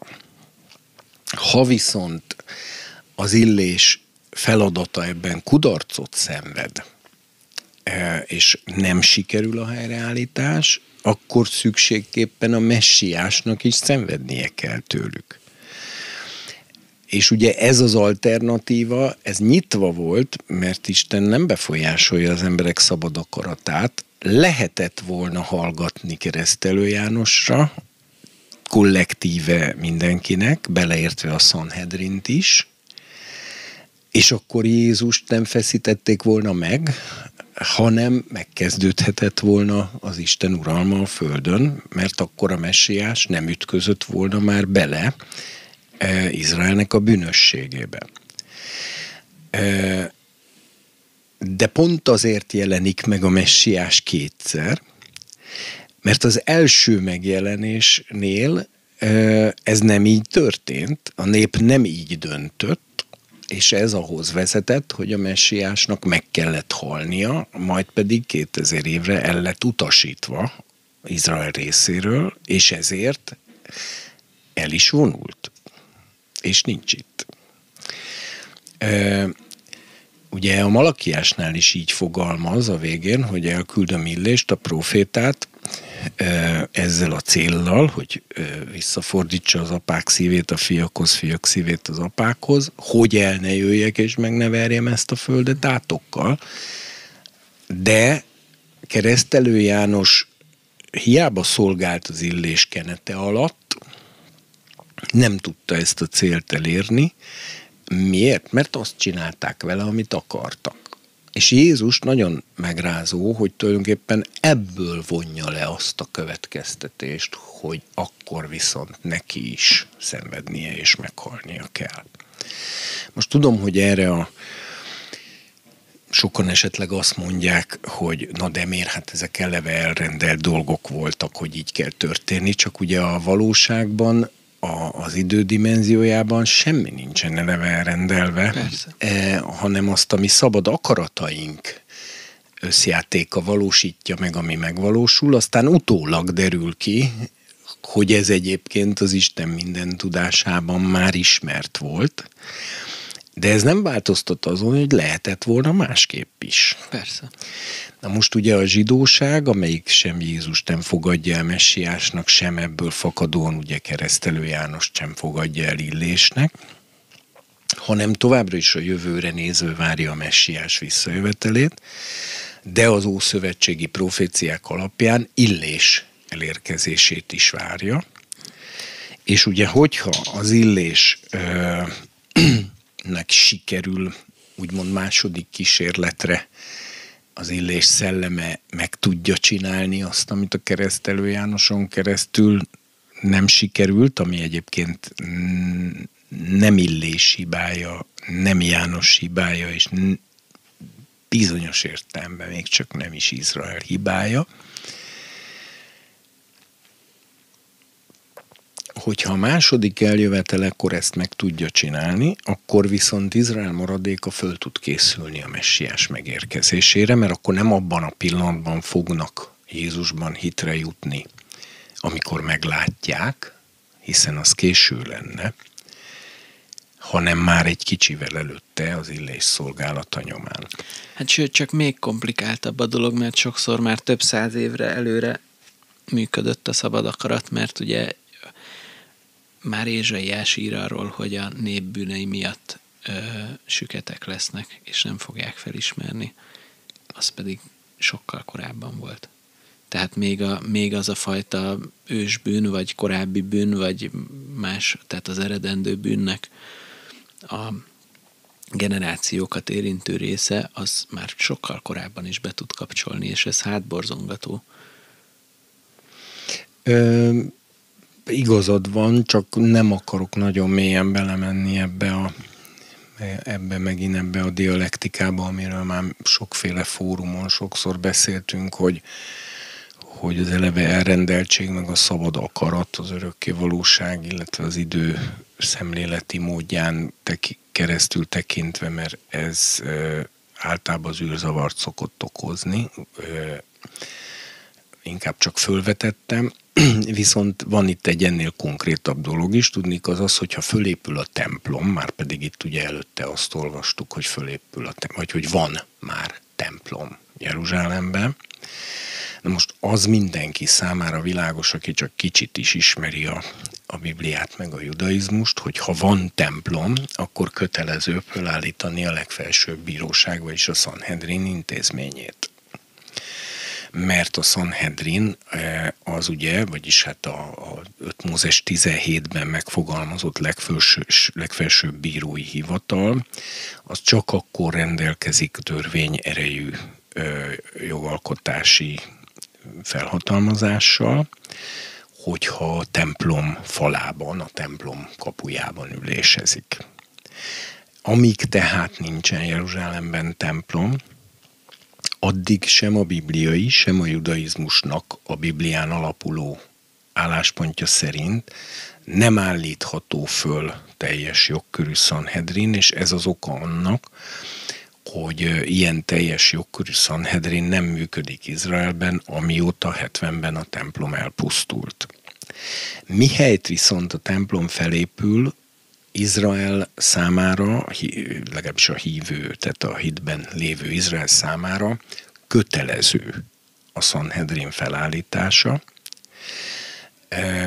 ami ugye az ország 70 legtekintélyesebb, legelismertebb, illetve 71 legtekintélyesebb, legelismertebb bölcseírás tudója, vagy egyszerűen csak, hogy mondjam, elfogadott vénye és ugye a Sanhedrinnek mindig az a főpap az egyik elnöke, az éppen hivatalba levő főpap, az ugye szükségképpen lévita származású, de mindig van egy világi elnöke is, aki szükségképpen nem lévita származású, hanem ő a törvénytudóknak a vezetője, ez az úgynevezett legfelsőbb bíró. Ugye maga az 5 Mózes 17 rendelkezik arról, hogyha megfoghatatlan kérdésben kell dönteni, amit nem lehet egyszerűen a tóra alapján rendesen eldönteni, akkor menjen föl az ember Jeruzsálembe, stb., vagy hát oda, ahol az ura nevét helyezi, és ott kérdezze meg a papot és a bírót, aki ott lesz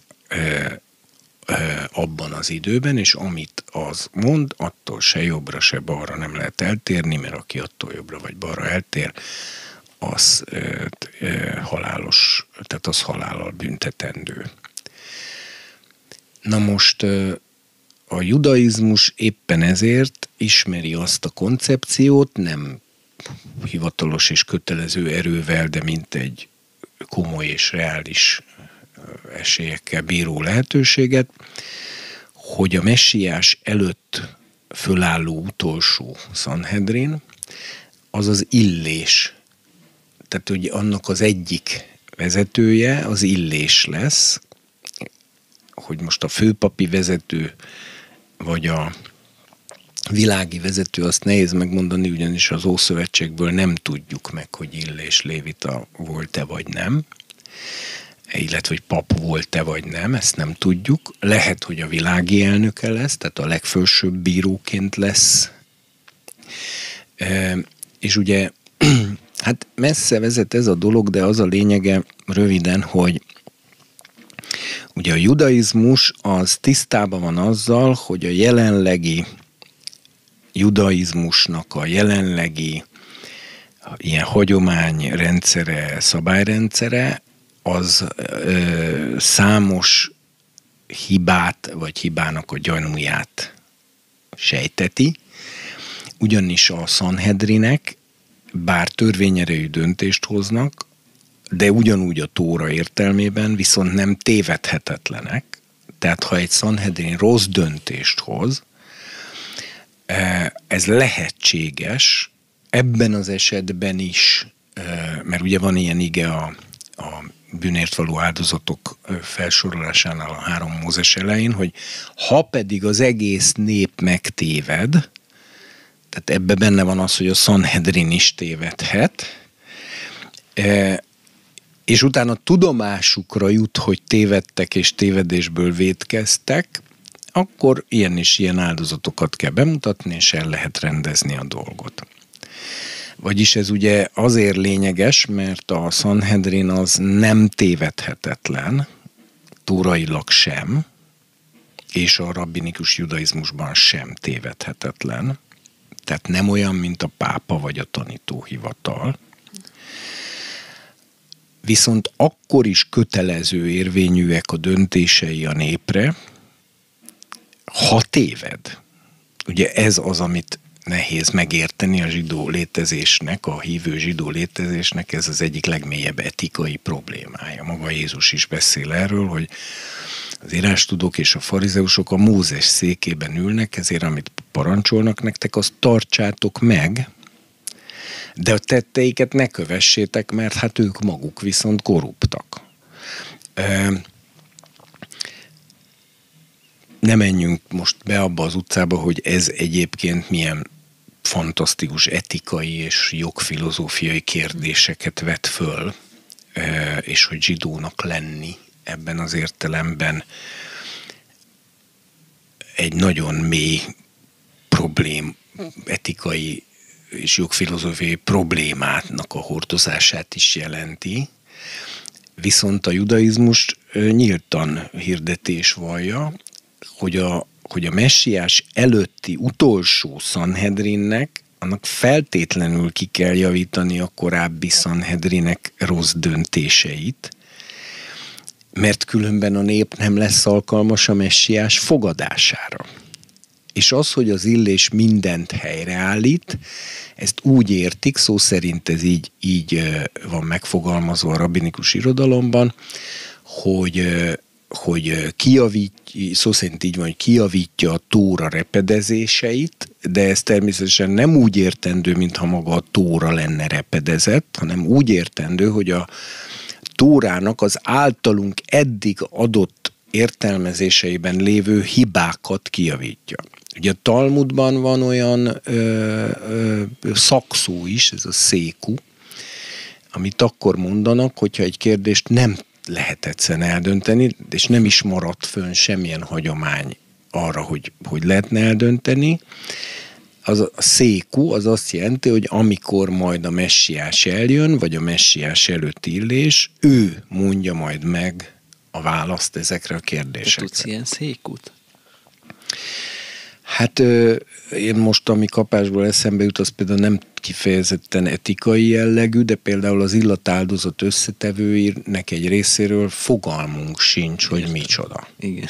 Ma már még a, még a rabbinikus irodalom sem tudja, hogy bizonyos ott szereplő szavaknak mi a pontos jelentésük. Hát és vagy a ezért... is ugyanígy, meg hát számtalan, most borzbőr, hát rendben van. Igen, igen, értem, hogy Tehát a is... illést, hogy akkor mond meg légy szíves, hogy az a bizonyos, mit tudom én, nem is tudom mi volt, ott, például a cipporen azt hiszem így hívják, uh-huh. az, az egyik alkotó elemét a, az illatáldozatnak, de utána kutathatsz mindenhol rabbinikus irodalomban, meg modern irodalomban, nem tudod eldönteni, hogy a cipporen az egy csigának a e, az a kis zárólemezkéje, amivel ilyen ajtóként így be tudja csukni magát, amikor behúzódik a házába, vagy pedig a cipporen az egy növénynek egy ilyen körmöcske alakú kis barna valami termése, vagy ilyesmilyen, e, és hogy konkrétan azt az illatszert, akkor most a csiga ezen záró lemezkéjéből, vagy pedig a növényke kis Hát ez azért is lényeges, mert hogyha szolgálni fognak a templomban, akkor mi a, tehát ahhoz pontosan, kell tudni ezeket tehát addig a dolgokat. De pontosan, hát addig teljesen törvényes áldozatok nem tudnak el se indulni, amíg valaki ne, ne, még egyet hadd mondjuk, hát a rabinikus judaizmus eléggé biblikus módon levezeti, hogy az égő áldozati oltárnak mindig ugyanazon a ponton kell állnia. Az nem állhat még csak egy méterrel sem arrébb, mint ahol az állt akkor, amikor Ábrahám zsákot fölrakta az oltára. Tehát amikor Dávid ugyanazon a ponton áldozatot mutatott be a népszámlálási járvány vagy bocsánat, hogy így mondtam, tehát a népszámlálás miatt keletkező járvány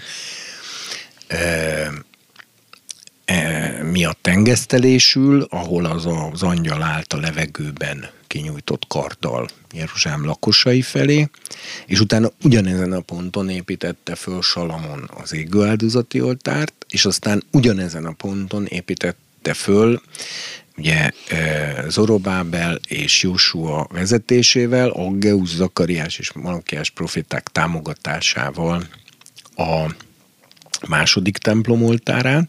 Ma viszont senki nem tudja teljesen pontosan megmondani, hogy ez melyik pont a templomhegyen. Ezért a judaizmusban kőkemény követelmény, hogy akkor lehet az oltárt fölállítani, hogyha kett, ez így ki van mondva, elolvashatod a Maimonides Misné tórájának a Hilkot Habait, vagy mit tudom, melyik ö, ö, igen, Hilkot Habait, Habahirá, vagy valami ilyesmi című részében, hogy két profétának kell tanúsítania az égő áldozati oltár helyét ahhoz, hogy az legitim módon fölállítható legyen. Ugyanis csak proféta tudhatja megmondani, hogy az hol van. Kettő, kettő tanú, tehát úgy tűnik, hogy ők már a templomépítés ben is részt kell, hogy vegyenek, mert ők jelölik ki a pontot. Na most, ha utána ugye ez is ö, megvalósul, és hogyha tényleg itt van Illés, meg pláne Mózes is, akkor ők meg tudják mondani, hogy a cipporen az milyen állatnak milyen, vagy milyen növénynek milyen, akkor lehet törvényes illatáldozatot készíteni, el lehet készíteni a szent kenetet törvényesen, és egyébként még egy csomó olyan haláhikus kérdést, ami, ami zavart okoz ebben, csak így lehet kezelni, és ugye adódik, hogyha két ekkora tekin, szellemi tekintély lép föl, akik, akik ö, ö, nagyon elképzelhető, hogy a 144 ezer az tulajdonképpen az ő tanítványi körük lesz bizonyos értelemben, Izraelben, és hogy akkor a Sanhedrin elnöke, valószínűleg világi elnöke, vagy talán az illés lesz, és ez az úgynevezett illés Sanhedrinje, és ugye erről beszéltünk korábban, hogy ennek mivel jogában áll kijavítani a korábbi Sanhedrinek tévedéseit, sőt ez lesz a legfőbb küldetése, ezért Jézus rehabilitációja is valószínűleg ezen a ponton kerül sorra. Na de, és ez nem fér a fejembe, Tibor, hogy hogyan működik az, hogy akkor ezek szerint Illés és Mózes részt fognak venni a templomnak a felépítésében, amit az Antikrisztus tesz lehetővé, hogy felépüljön, és ő maga fog benne helyet foglalni, ugye ezt is megállapítottad korábban, tehát ők kvázi együttműködnek valamilyen oknál fogva az Antikrisztus szándékával, vagy nem tudom, nyilván Isten szándékával is, de ők ebben részt vesznek, majd az Antikrisztus, ja bocs, és előtte még rehabilitálják Jézus, tehát akkor az egész zsidóság már messiás hívő zsidóság lesz. Hát az egész semmiképpen nem. De mondjuk az a 144 ezer, tehát tegyük fel, ők már úrnak fogják Még nevezni. az se biztos. Jó, de ezért mondom, ez kérdés, és aztán a vadállat végül is háborút indít ellenük, megöli őket, feltámadnak, felemeltetnek, és az Antikrisztus beül ebbe a templomba, és elkezdődik az utolsó három és fél év. Hát lényegében így van, de ha jól értem a kérdésed mögül, az a csodálkozás tűnik ki, hogy ez, ez hogy lehetséges, hogy ez így össze klappol, vagy így, hogy például a két tanúmér működik együtt. Tehát ugye hát arról igen, már múltkor is, is beszéltünk. Hogy Jézust is hogyan lehet, hogy, hogy, hisz, hogy, hogy akkor már el fogják fogadni a messiást. Na de erről már múltkor beszéltünk, ugye az nagyon lényeges, hogy az Antikrisztusról szóló proféciák, főleg az új szövetségi utalások, azok azért arra utalnak, hogy az Antikrisztus az egy kiugrott keresztény. Mert ugye a János apostol úgy fogalmaz, hogy hogy, hát, hogy közülünk, közülünk váltak, ki, de nem, voltak, voltak közünk valók, mert ha közünk valók lettek volna, akkor velünk maradtak volna. A Judás levél is, amikor meg a Péter második levelének a második fejezete, ami ugye a legplastikusabban írja le az új szövetségi hamis proféták és hamis tanítók intézményét, szintén világossá teszi, hogy ezek jó állapotú keresztényből romlottak vissza.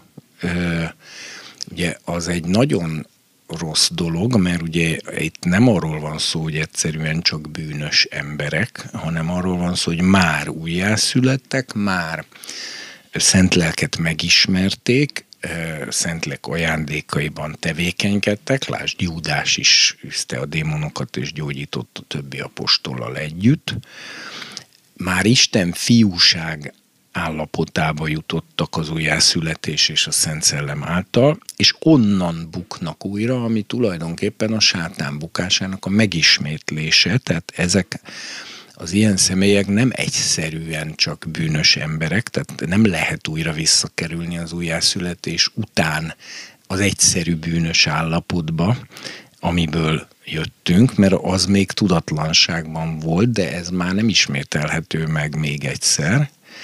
Ezért, aki már az Isten fiúság természet fölötti, az újjászületettségéből fakadó Isten fiúság valóságos természet fölötti állapotából bukik újra meg, az már az Isten fiúságot nem veszti el, hanem egy gonosz Isten fiú lesz. Az pedig pont olyan, mint a sátán, mert ugye ő is, mikor az Isten fiai eljöttek udvarolni az Úrnak, eljött a sátán is közöttük.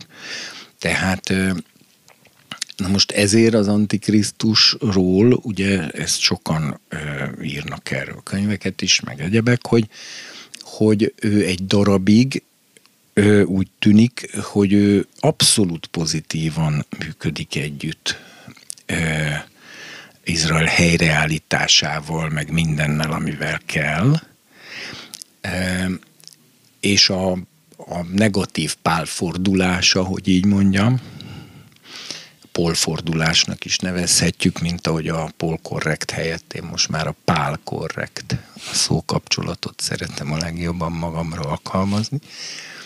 Tehát a, az Antikrisztus negatív pálfordulása az, az esetleg pont amiatt következik be, hogy, a, hogy az Illés Sanhedrinje nem azokat a korrekciós döntéseket hozza, ami neki a kedve szerint való lenne. Plusz ugye éri egy fejsérülés, ez nagyon lényeges. Ugye ma már bizonyított, hogy a pszichopátiák, a legszélsőségesebb ilyen szinte százszázalékosnak mondható pszichopátiák, azok szoros összefüggésben állnak a homloklebenynek a sérülésével. Tehát, hogy az egy genetikailag vagy fizikailag létrejövő betegség is tulajdonképpen, és ugye az Antikrisztustól azt mondja, hogy őt éri egy kardcsapás, szó szerint így mondja a jelenések. Nyilván itt is a kardot vehetjük átvittebb értelembe fegyvernek, mert a Biblia is használja általános értelembe fegyverként is, de mindenképpen őt éri egy halálos fejsérülés, és amikor abból felgyógyul, akkor adja a sátán, a sárkány majd neki minden hatalmát és erejét, tehát ak- akkor töltődik föl ez a lény, ez a, vagy ez az ember, ö, bár innentől kezdve már egyre kevésbé lehet annak nevezni, feltöltődik sátáni erővel, tudással, gondolatokkal, stb. stb a, semmi meglepő nincs azon, hogy az elején ő politikailag azon dolgozik, hogy a Jeruzsálemi templom fölépülhessen, és nehéz megmondani, hogy ekkor már vannak-e aljas szándékai, vagy még nincsenek.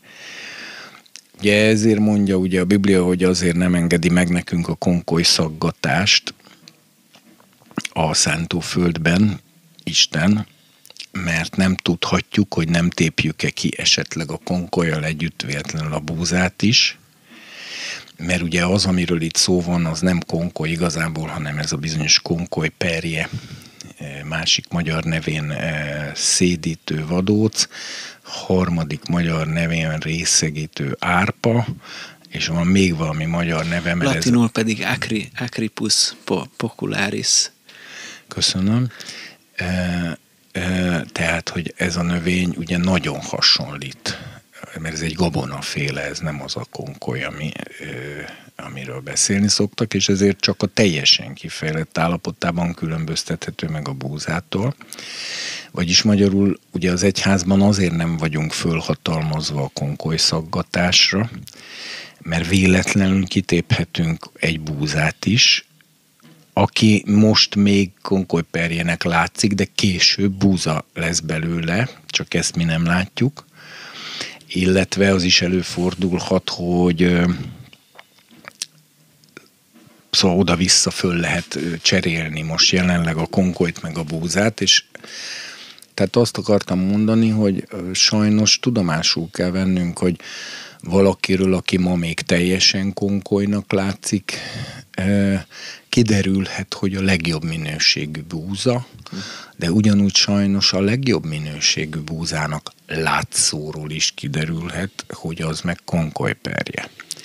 Tehát e, senki... Ez kétségbejtő. Nem kétségbejtő, ez az úr félelmét hozza létre az emberben, és az nem kétségbejtő, mert egyáltalán nem baj, ha egy ember nem bízik magában. De, le, de lehet, hogy én is kon- konkoly, konkoly Természetesen érzem. lehet, de ez rajtad fog múlni, és ezenben semmi félelmetes vagy kétségbejtő nincsen, hanem ez az úr félelmét hozza létre az emberbe, és azt a döntést kell, hogy létrehozni, hogy nem akarok perje lenni, hanem a búza oldalára szeretnék tartozni, és ha már nagyon úgy nézek ki, mint búza, akkor nem szabad elbíznom magam ez nagyon lényeges, nem szabad elbíznom magam. Bármikor, de csak az Isten kegyelme tart bennünket fönn. Például, ha valaki kevésségbe kerül, ugye Pál mondja a zsidósággal kapcsolatosan, zsidó-pogány viszony a Róma 11-ben, hogy te azt mondod tehát, kitörettek az ágak, hogy én oltassam be a szelid olajfában. Görögbe csak annyi, hogy kalosz. Jó van. Na, ezt aztán jó megmondtad. Pompás. Úgy, hogy ne fuvalkodjál föl, hanem inkább félj. Mert ha az Isten a természet szerinti ágoknak nem kedvezett, hanem a hitetlenség miatt kitörettek, nehogy aztán veled is ugyanezt történjen. Tehát ugye itt az a lényeg, hogy ha valaki kimozdul abból a fundamentumból, hogy egyedül az Isten kegyelme tart meg, semmi más. Nekem lehetnek jó cselekedeteim, amiket az Isten kegyelmére válaszul hálából adok. Ez egy jó keresztény magatartás. De abban a pillanatban, hogy azt gondolom, hogy én a jó cselekedeteimmel úgy bebiztosítottam a helyemet az üdvösségben, hogy nekem már nincs akkora szükségem a kegyelemre, mert én már a, a keresztényként megtett tetteimben, szolgálataim csodálatos nagyságában és dicsőségében is bízhatom, akkor már be is tettem a nyakamat a hurokba. Hm. E, e, tehát e, a szellemi koldus alapállása az állandó kell, hogy legyen, és az, az az egyetlen fundamentum. Tehát az Istennel szemben a legjobb, ha az ember mindig azt mondja, hogy csak te tudsz megmenteni engem még önmagamtól is. Még a bűneimtől és a bennem lévő ha, rossz, buk, a bukásra való bennem lévő igenis mindenkiben meglévő hajlamtól csak te tudsz megtartani. És ez teljesen független attól, hogy keresztényként hány jó és igaz szolgáltot végeztem el, mert igazából minden napom úgy kezdődik, mint a megtérésem pillanatában, vagy utáni első napom kezdődött. Tehát nem kezdődik, sőt folytatódik, sőt végződik úgy napom, hogy én dicsekedhetem a cselekedeteimmel Isten előtt, és hogy a cselekedeteimre helyezhetem az én bizalmamat, hogy majd én amiatt megmenekülök, mert akkor már is beleléptem a sátán csapdájába. Én azt mondom, hogy a legkellemesebb, a legkényelmesebb, a legpihentetőbb, a legbiztonságosabb hely az a szellemi koldusnak az állapota, ezt mondja Jézus, a hegyi beszéd első mondata, boldogok a szellem koldusai, mert övék az Isten uralma. Ez pedig az az állapot, hogy Uram, én aztán semmire nem vagyok képes én magamat föntartani. Nem tudom se erkölcsi értelemben, se szellemi értelemben, se anyagi értelembe, se egészségügyi értelembe nem létezik olyan értelem, amiben én önmagamat csak picit is meg tudnám tartani, sőt, eh,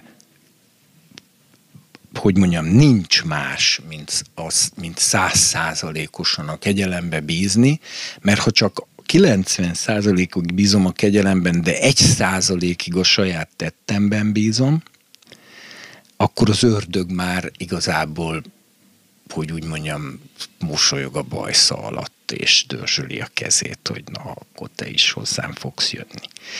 Tehát azért a legjobb a biztonság szempontjából az egyetlen lehetőség, hogy az ember elismeri, hogy semmilyen nincsen, és épp úgy nincs semmi, mint az újjászületésem pillanatában se volt semmim, ha esetleg az Isten úgy gondolja, hogy én az én tetteimért majd egyszer, izé, bármikor valamiféle jutalomban eh, részesülök, ez legyen az ő dolga, írja föl magának a cédulákra, hogy el ne felejtse, eh, hogy majd egyszer ezt, amit ha tényleg ő úgy látja, Mert az is lehet, hogy amit én nagy jó cselekedetnek gondolok, az az ő szemében utálatosság. Ilyen is előfordulhat.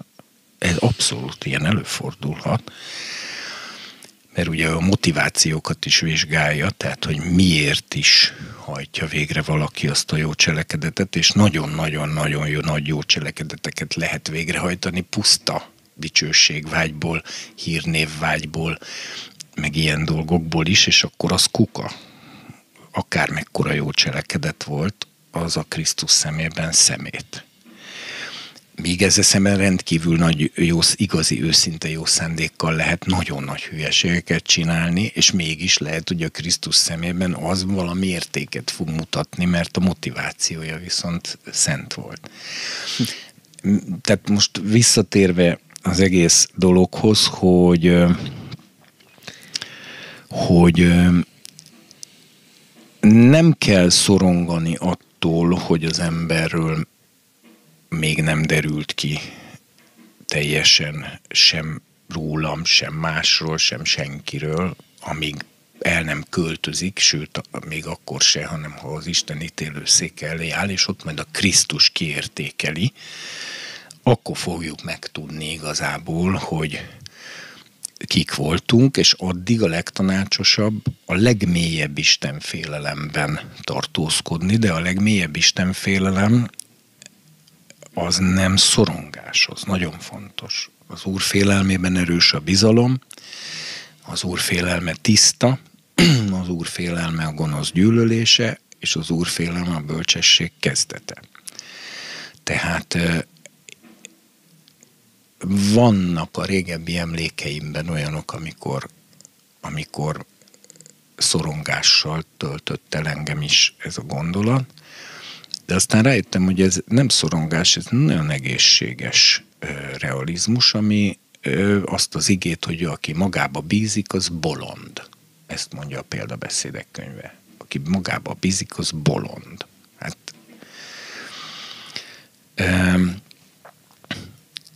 nem kell az embernek magába bízni, fel kell tételezni az embernek, hogy bizony lehet bennem olyan dolog, ami akár engem el is buktathat, és meg kell ettől ijedni, és meg kell ettől rémülni, és be kell menekülni az Úr kegyelmébe, és kiáltani hozzá, hogy jaj, Uram, ezt ne engedd meg, kérlek, hogy, hogy én ezt minden módon akadályozd meg. És a, én azt gondolom, hogy aki, hogy mondjam, lenullázza magát ilyen értelemben, ami a realitás tulajdonképpen, és abszolút a kegyelemre veti magát, hogy tarts meg Istenem, mert én nem tudom magam megtartani, az van, tehát tulajdonképpen az van biztonságban, de ezt ráadásul újra meg újra meg kell ismételni, mert azért nagyon hajlamosak vagyunk arra, hogy hogy bízzunk az eddigi utunk elért eredményeiben, tetteiben, stb. Na szóval visszatérve az Illés Sanhedrinjére, azzal szeretném akkor ezt lezárni, hogy az apokaliptikus kor egyébként ezen, még most, ha még így megdöbbentél, meg megdöbbenünk tényleg mindig, amikor ez ott nagyon nagy meglepetések lesznek az a kide, ugye apokalipszis, a leleplezés, a lepel eltávolítása, a kiderülés. Tehát amikor elkezd minden kiderülni, nagyon-nagyon nagy meglepetések lesznek. Szóval nagyon-nagyon elképzelhető, hogy az, akiről azt gondoltuk, hogy rossz, az jó, és akiről azt gondoltuk, hogy jó, az rossz, és oda-vissza nem ilyen értelemben, de zárójelben szeretném itt följegyezni, amit a Kornis mondotta az apokalipszis. Ezt legutóbb hallottam tőle, hogy, hogy ez azt is jelenti, hogy minden feltárul, tehát minden nyilvános lesz. Tehát a, a Facebook, az Instagram most nem értékítéletet mondva, de nagyon érdekes megközelítés, hogy mindenkiről minden kiderül. És ez látszik is. Csak, csak ennyit akartam, hogy, hogy ez itt rögzül, valahol ez rögzüljön ez a gondolat, mert ez nagyon tetszik nekem. Igen, csak én azért ezt még azzal kiegészíteném, hogy nem csak mindenkiről mindenki derül, hanem a szívek motivációja is kiderül. az azért nagyon lényeges, amit az előbb mondtam, mert vannak dolgok, amiket ha te kívülről látsz, akkor az rossznak látszik.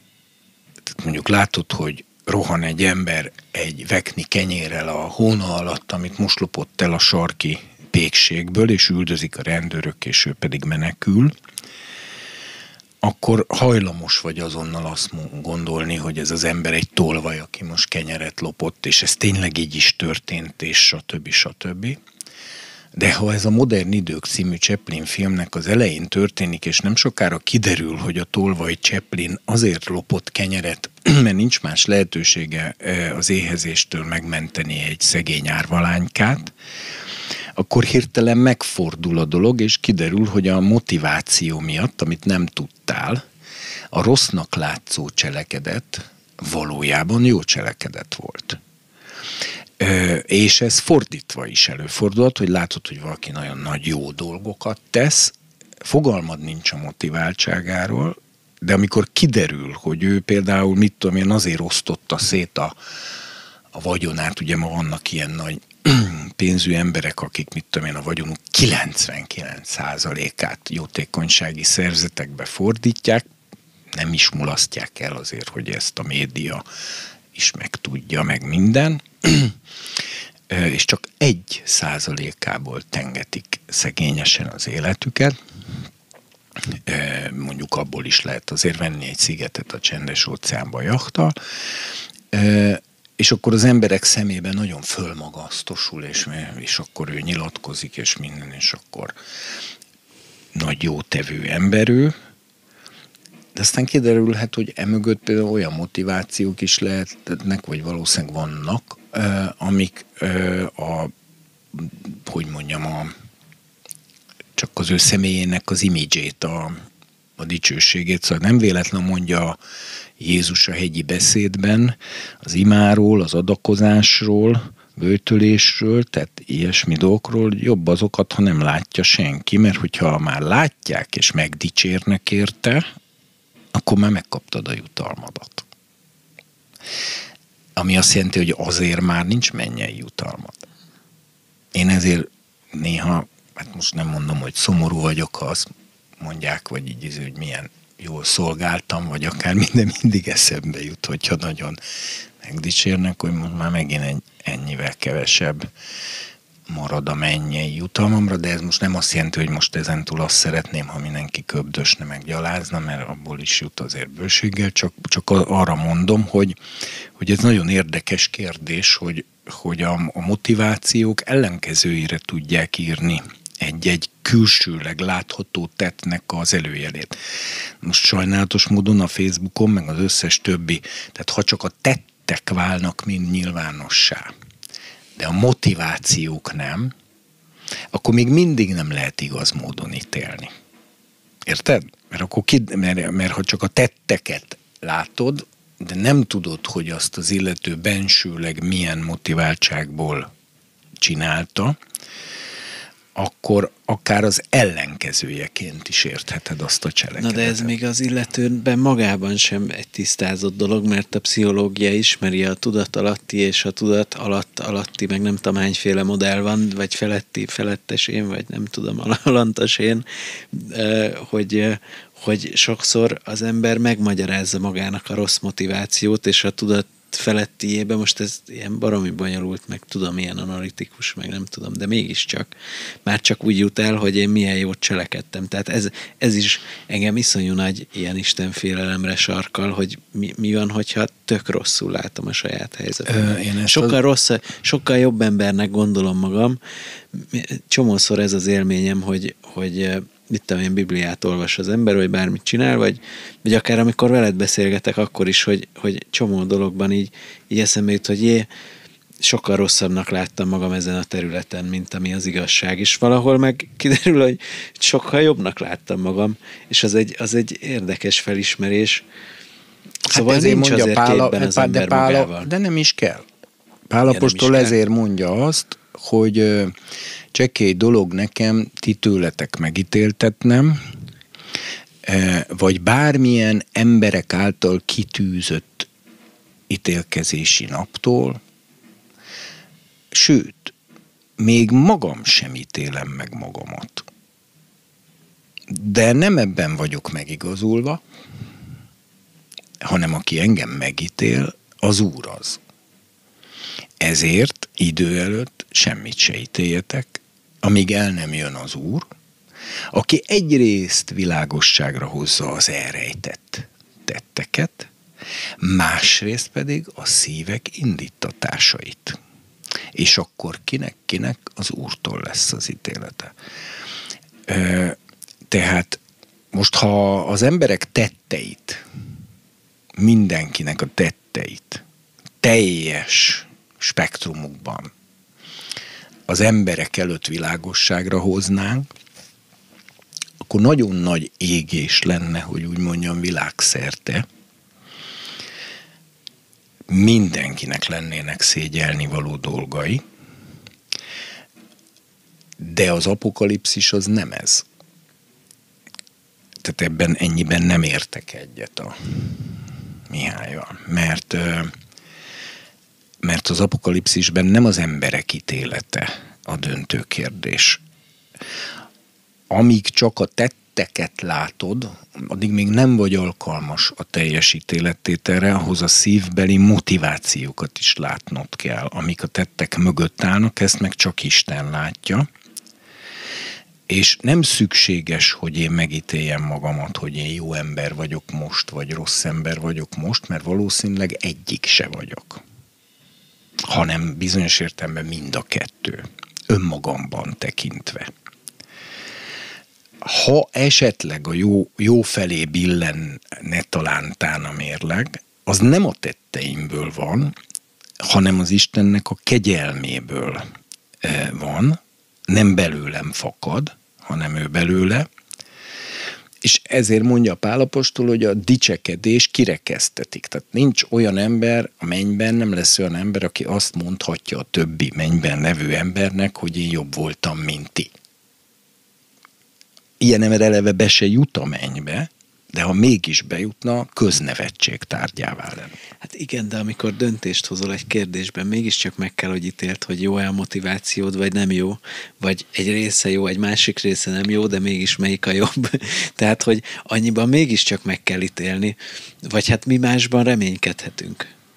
Hát most ez kicsit ismerem ezt a problémát, de ez az ifjú felnőtt kornak a válsága, a akkor problémája. Ez nem, akkor ez később ez... már nincsen ez a probléma? Ez én úgy gondolom, hogy később ez alább hagy, mert amikor az ember már apa lesz, meg gyerekei vannak, meg gondot visel, meg teherviselés másokért, meg mit tudom én, nem úgy oldódik meg, hogy az ember rájön, hogy én jó ember vagyok, vagy hogy én rossz ember vagyok, hanem úgy oldódik meg, hogy nincs nagyon idő ezzel foglalkozni. E, és nem is érdekes. Mert nem az az érdekes, hogy én jó vagy rossz ember vagyok, mert valószínűleg mind a kettő vagyok, mint mindenki, hanem az az érdekes, hogy az Isten kimente engem a jövőben is a rosszaságaimból. Ez a kérdés. Ez a döntő kérdés. Ha kiment, akkor, és ez pedig, ehhez az kell, hogy én pedig tőle függésben éljek, hogy ments ki, Uram, ebből, mert, mert a bűneimből sem tudok kiszabadulni nélküled, sőt, még rálátásom sincs a bűneimre, amíg nem kapok világosságot, hogy az bűn, és, és attól, hogy azt mondják, nem kapok világosságot, azt a belül kell, hogy fölkapcsolódjon a villany, és ha belül Isten fölkapcsolja a villanyt, az egy kegyelmi segítség, és akkor az ember erőt is kap ahhoz, hogy kimásszon abból, amiről előtte esetleg nem is tudta, hogy hogy az bűn. És éppen ezért ugye itt te mondtad, hogy a tudatalatti, meg a motivációk, meg hasonlók, olyan nagyon nem hoznám ezt be ide, mert ugye ha van olyan, hogy tudatalatti, ilyen, mint pszichológiai kategória, akkor az tudatalatti, tehát az azt jelenti, hogy azt nem tudjuk. E, és viszont amit nem tudunk, a, azért a tudatlanság idejét elnézi az Úr, és a tudatlanságból elkövetett bűnökért lehet bűnért való áldozatot vinni, tehát azokra vonatkozik a bűnbocsánat. Keresztényként is, és akkor is, ha még csak ezután tíz évvel fogok rájönni, hogy teszem azt most, amit beszélgettünk abba, én valamit rosszul mondtam, és ezzel mondjuk kárt okoztam más embereknek, amikor majd ezt világosan meglátom, akkor meg kell bánnom, és bocsánatot kell kérnem, és igyekeznem kell korrigálni, de visszamenőleg nem fog nekem bűnül tulajdonítatni, hiszen nem volt benne se tudatosság, se szándékosság.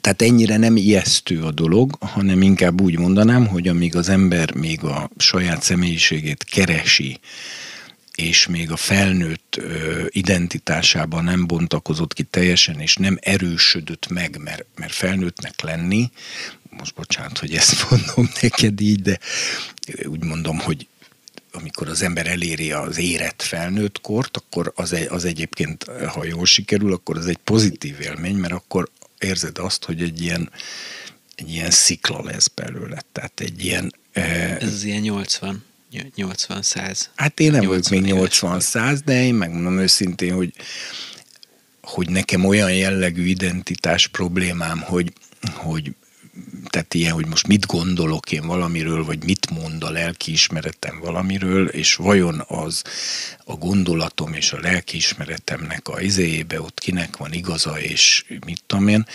Szóval az ilyen típusú vívódások, én azt tapasztalom, hogy azért olyan egé- igazán egészséges esetben azért olyan 40 fölött elkezdenek megszűnni. Ez fantasztikus. És akkor, amikor már nem tudom hány gyereket fölnevelsz, meg keresztül mész ezer darálón, és többször le vagy darálva már ilyen granulátum, illetve ilyen egészen porított alakba, és amikor utána megpróbáld összeszedni magadat, és újból egy ilyen kicsit kötöttebb struktúrát fölvenni, akkor rögtön jön a következő daráló, és megint ledarálnak poralakra, és akkor egy idő után be, beletörődsz abba, hogy a porrázúzott szív és az összetört szellem kedves ajándék Isten előtt. És, és tulajdonképpen ez egy ez egy adekvát létállapot, mert hát az ember valójában egy összezúzott állapotban van ebben a világban, még akkor is, hogyha ezt nem tudja magáról, akkor ugye lehajtja a fejét az élet búzaszál, ahogy mondani szokták, ugye arról lehet megismerni, hogy beérett, hogy lekókad, akkor lehet aratni, mert akkor van a magokba súly, és az azt jelenti, hogy, hogy nem marad más egy idő után, csak az Isten kegyelmébe való bizakodás minden tekintetben, még a saját bűnösséget tekintetében is mert még azt sem. De mivel, hogy mondjuk mostanában is jövök rá, hogy néhány évvel ezelőtt már keresztényként is tudatlanságból, de követtem el bűnöket, hibákat, stb miért gondoljam azt, hogy ez most nem így van, és nem fogok öt meg tíz év múlva megint rájönni, hogy most is, most erre persze lehet, hogy némelyek megrendülnek, hogy akkor nem is hallgatják többet ezeket a podcastokat, nem is tudnék erre semmit mondani. Sose akartuk, hogy hallgassák. tehát, szóval csak, tehát a, na, az az egésznek a, csak hogy kapcsoljunk azért vissza itt megint a nagy hát igen, mert a, elszállásból a, a eh, Zillés Sanhedrinjéhez, ahonnan elszakadtunk, hogy hogy csak annyit akartam arról mondani, hogy az Illés Sanhedrinje az a judaizmusban van egy ilyen fogalom, vagy várakozás, Na de ar- egy két, hogy az törvényerővel korrigálja a judaizmus hagyományában megmaradt értelmezési hibákat vagy hiányokat, és ezért sokan mondják, például Arnold Fruchtenbaum, eh, aki ugye egyfelől egy evangéliumi keresztény teológus eh, New Yorkban, másfelől pedig egy régi zsidó rabbi családnak, amelyik Oroszországból Lengyelországon át keveredett a holokauszt időszakában valahogy Amerikába. Annak is sarja, és így a két, két hagyományt, vagy a két gondolkodásmódot egyszerre átlátva, ő például azt mondja, hogy az ő véleménye szerint az Illés Sanhedrinje fogja Jézust rehabilitálni, és talán pontosan, e, mert ugye amit viszont a Sanhedrin határoz, az az 5 Mózes 17 értelmében egész Izraelre halálbüntetés terhe mellett kötelező, már a törvény szerint, vagyis akkor jöhet létre egy olyan hasadás, amiben az zsidóság egy része ennek ellenáll, mert ragaszkodik egyrészt a Jézus ellenes, másrészt pedig, hogy mondjam, amúgy is mindegy, most nem menjünk bele, hagyományához, és viszont a zsidóság egy része, az pedig ezt a döntést üdvözli, és tulajdonképpen ez lesz az Izrael maradéka, akik mindenek előtt a 144 ezer, minden bizonyal, illetve hát százszázalékosan biztosan, mert ezt a Bibliából lehet bizonyítani, hogy mások is, tehát nem csak a 144 ezer tartozik Izrael maradékához, hanem annál azért többen. De és ők a Sanhedrin ítélete nyomán Jézusban fognak hinni a keresztények szerint, mint messiásban, és mégis itt maradnak még három és fél évig, amikor a messiás megérkezik? Hát röviden szólva igen. De hát ez, ez iszonyú nagy kegyetlenség.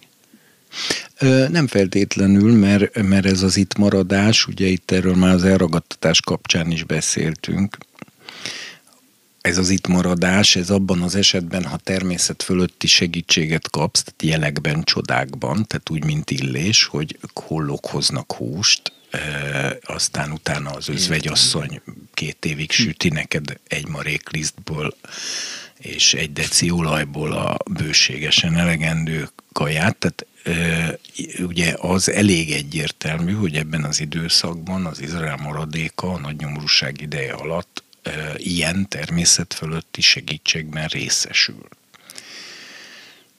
De miért kell itt lenniük? Mit jelent ez a dolog? Hogy van mégiscsak egy nép, akinek a legvégsőkig itt át kell élnie az emberiség minden bűnének, minden következményét a legutolsó nem, pillanatig? Azt nem kell, mert azt Jézus Krisztus már átélte a Golgotai kereszten, aki egyébként szintén en népfia volt, és szintén teljesen ártatlanul szenvedte el ezeket, és No de hát hogy akkor mondjam, mi, ő akkor a zsidók miért? királya, tehát a népe követi is őt, de, de itt nem erről van szó, hanem inkább arról van szó, hogy a cséplés végét meg kell várni ahhoz, hogy a mag és a pejva teljes mértékben korrektül elválasztható legyen. Mert még a három és fél év is olyan, hogy közben átkerülhet valaki az egyik oldalról a másikra. És amikor nagyon nagy a presszió, akkor jön ki az emberekből, hogy mi van bennük. Tehát ugye már mondtam régebben is ilyen példákat, hogy a Júda teszem azt nem volt egy jó gyereke Jákobnak, hiszen nagypapa koráig gyakorlatilag kizárólag különböző erkölcstelenségekről számol be vele, vele kapcsolatosan a Biblia, a testvérgyilkosság ötletétől és ö, kivitelezési szándékától elkezdve a prostituáltakhoz járáson át a kananeusokkal barátkozásig és a család elhagyásáig és hasonló hasonló.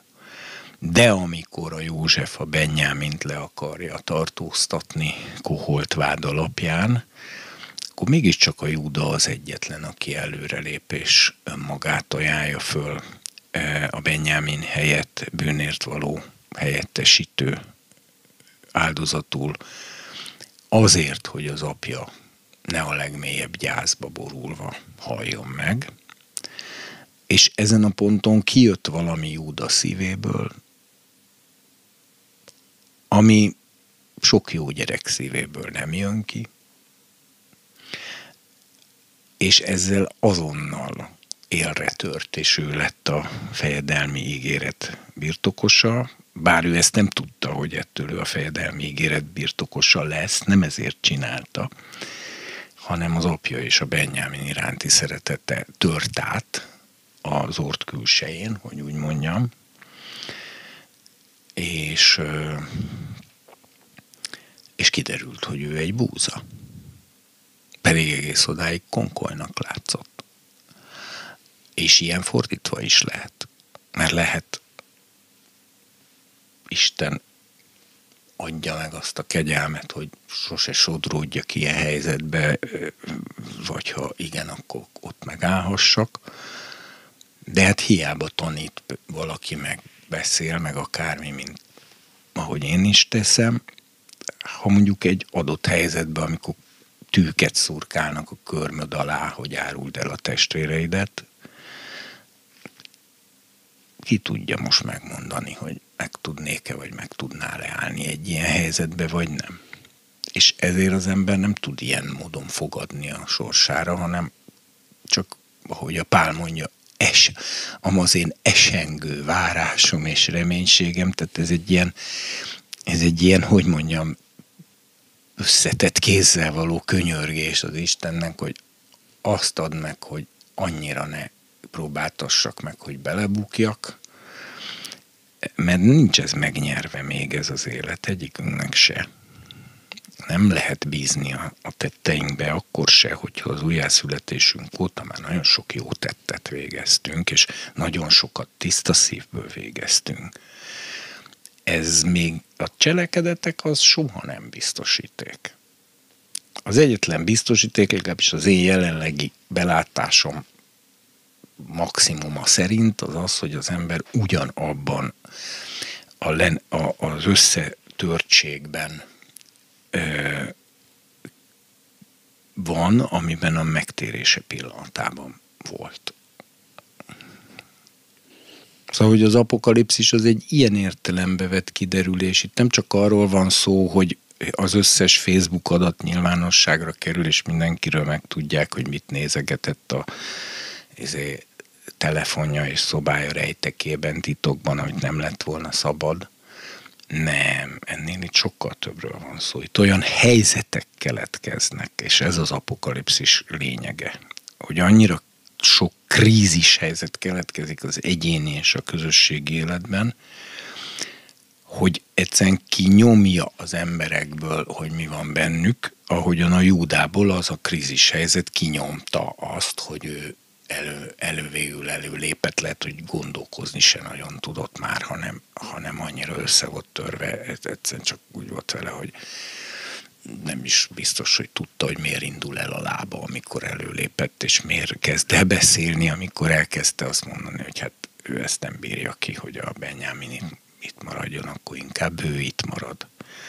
És kiderült, hogy egy igaz ember és, a, és egy krisztusi szív van benne.